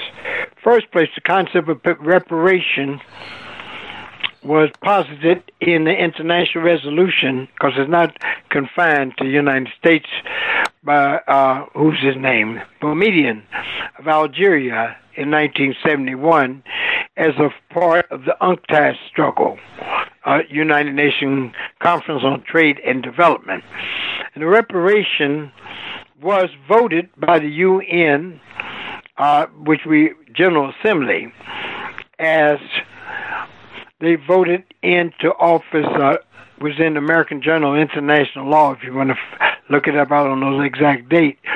Uh, the obligations of states who practice colonialism. I forgot. I, I didn't verbalize it right. Uh, uh, so reparation is a part of international law. Now, of course, American Journal International Law, being an American journal, thought attacked the whole notion of reparations. Now, reparations will have to be done properly through a program of development. Now, like the reparation between the Philippines and Japan resulted in the way they were conducted led to the Japanese corporations gaining ascendancy in Filipino industry. So how you do you had to do reparations in relationship to a program of development. Otherwise you're giving money to opportunistic people among the oppressed people as a one shot deal rather than as a development strategy. Now now, the same in the United States. Do you have a development strategy connected with reparations? Because if you give money uh, and it's not connected with uh, social development, it just will lead to an inflation of prices in your country. And the one, uh, so that's a, a sophisticated question, but the question is the legitimacy of practicing what shall we say, an inequality in reverse to make up for the actual inequality that exists in the world. And the paradox is that it will be beneficial to the country, even though it will not be beneficial to some vested interest in the country. So the certain vested interests interests are not synonymous with the national interests. But uh, as you know, uh, I, I, don't know about that book, but Inikori's wrote in a book on the. He's also written on the African slave trade, uh, on the role of Africa in the Industrial Revolution in England. In fact, you know that we actually finance the accumulation of capital in this country, uh, which was done by predominantly when the U.S. was getting formulated, which was done by over half of the goods and services shipped in international conduct conference was the product of slave labor. So we did help finance the early development of this Speak, country. Speaking of, of, of slave labor, uh, mm-hmm. Last week, the UN unveiled a permanent memorial to the victims of the transatlantic slave trade. Do you think this gives a signal to those people who are pushing reparations that the international community, at least the UN, recognizes that as a legitimate struggle? Yes, they do recognize it as a legitimate struggle. And that is coming out of General Assembly. See, what happens, you got to distinguish of the different organs of the United Nations. That's a whole other question.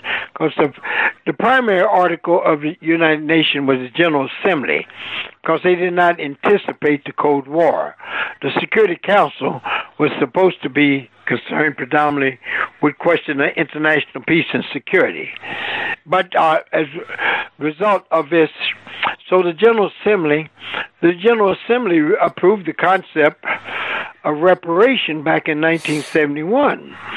The UN Conference on Trade and Development's resolution, and also this, I forgot the complete title of this, the obligation of states to give reparation to ex-colonial countries. Now the question is, people say, well, you were not a colonial country, you were a population within the United States. Uh, and that gets to be a tricky question. Does international law apply to minorities who are oppressed within their own countries? So that's a legal question.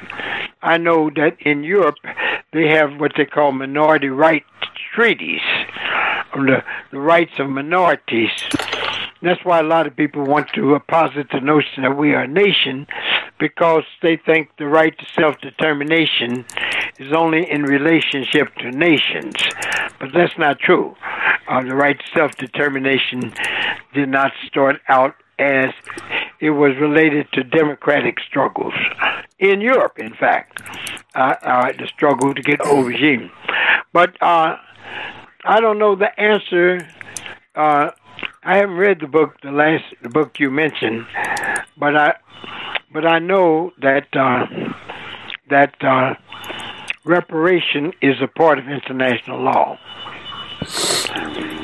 But we have a contempt for international law now increasingly we don't accept the legit, yeah, not me, but uh, the U.S. government, because of the changing representation in the UN, uh, the United States. That's why they don't report to you on votes in the UN, because most of them are not in conformity with what U.S.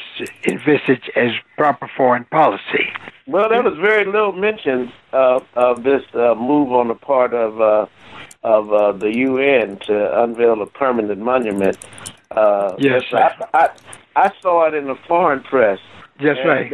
There's very little of the mention that Barbados and Jamaica uh, want to drop the Queen as the head of their nation. That's right.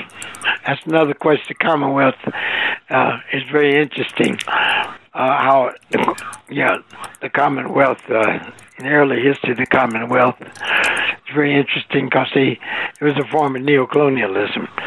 So some people contend that Commonwealth to independent states is similar in Russia, uh, uh, in terms of the states that used to be a part of the Soviet Union. Yeah. But, but I, I but there's a difference. I, Yeah, I see you. I see you. Uh, uh, I think we're wearing you out a little bit. You seem to be losing uh, the energy in your voice. Are there any more questions? Um, this is uh, Jeffrey. Um, Dr. Rhodes, I had a question, and just in relationship to you mentioned the um, whole focus on um, reparations. So, what might be, you, you might say, maybe two or three key focuses of organizations, this is black organizations in this country, that they should be focused on in terms of addressing this issue of this international struggle? What are some of the key focuses that you Yes, think would be important to change the dynamic, it broaden and expand it, and then and specifically between people here and people in Africa, given that we have a larger population of people from Africa who are here, and that whole growing dynamic in terms of um, right. um, developing points of unity. Yeah, well, we that's an interesting question because we had to watch the fact that I think there's going to be a new ethnic system coming in existence, uh, which will not be be based on the binary system of ethnicity, where you're either black or white. But that's another question. Uh, one thing we have not had, and maybe you youngsters had to do that, because I think a lot of my old friends are trying to resuscitate uh, the movement of the 60s. And that period of history has been traversed. In fact, Martin and Malcolm was Malcolm in relationship to the Muslims, and Martin in relationship to the civil rights movement was trying to move to another stage of the struggle. And that's probably why they were assassinated. Uh, but we have not had it's happened before in history.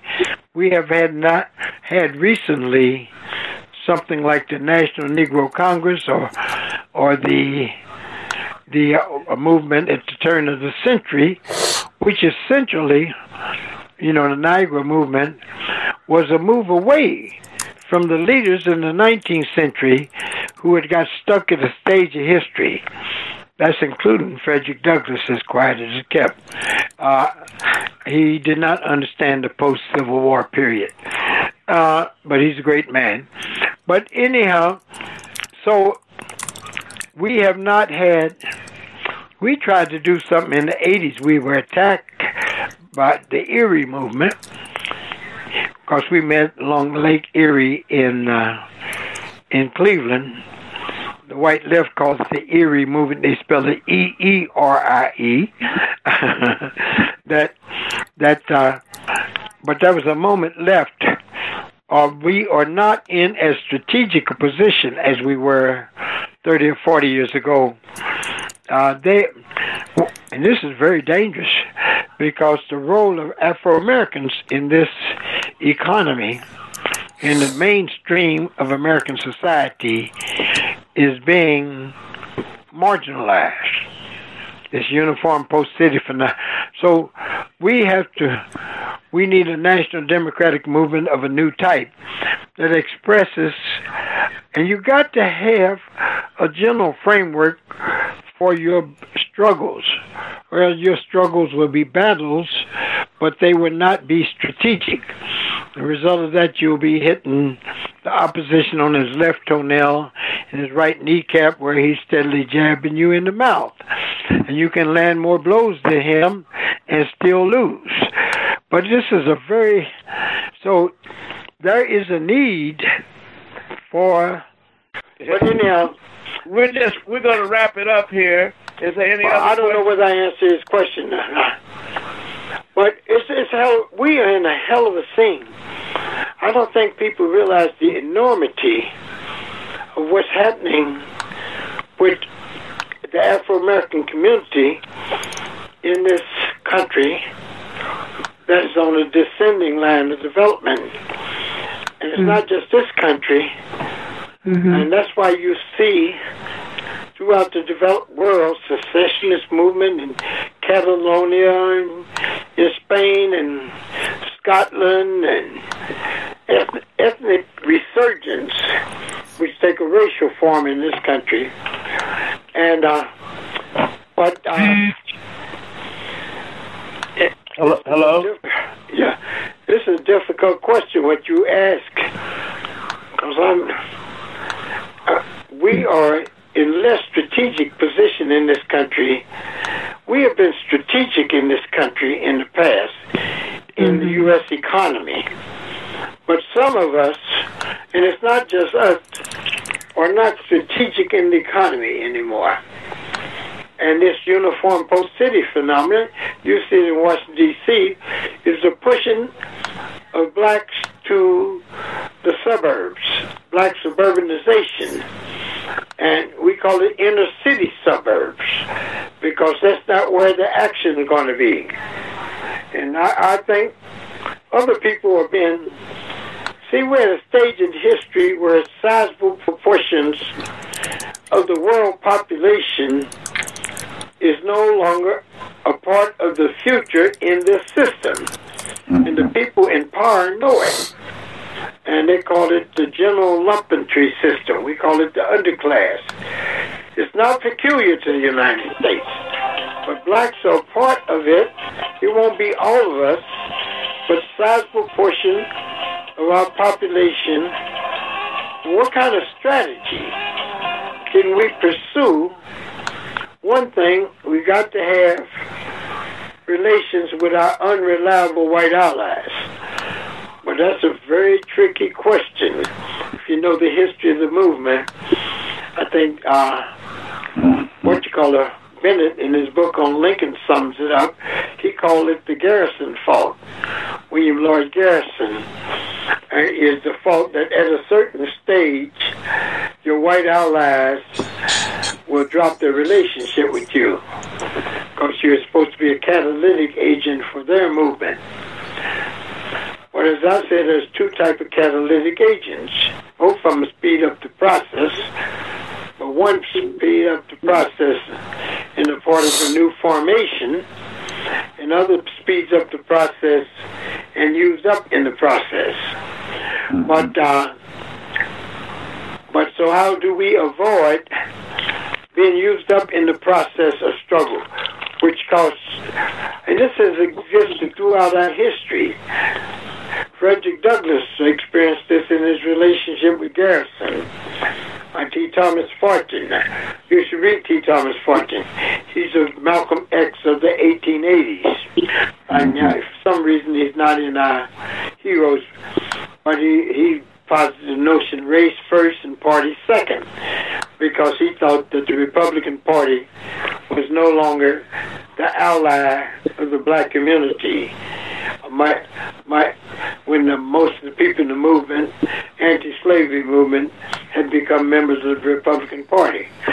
But anyhow, so uh, well, young you young people are, got a fight on your hand, and uh, you know, it's going to be delicate because you're going to have to lodge a community, and they are, what shall we say, to quote Robert Allen, they are reluctant reformers.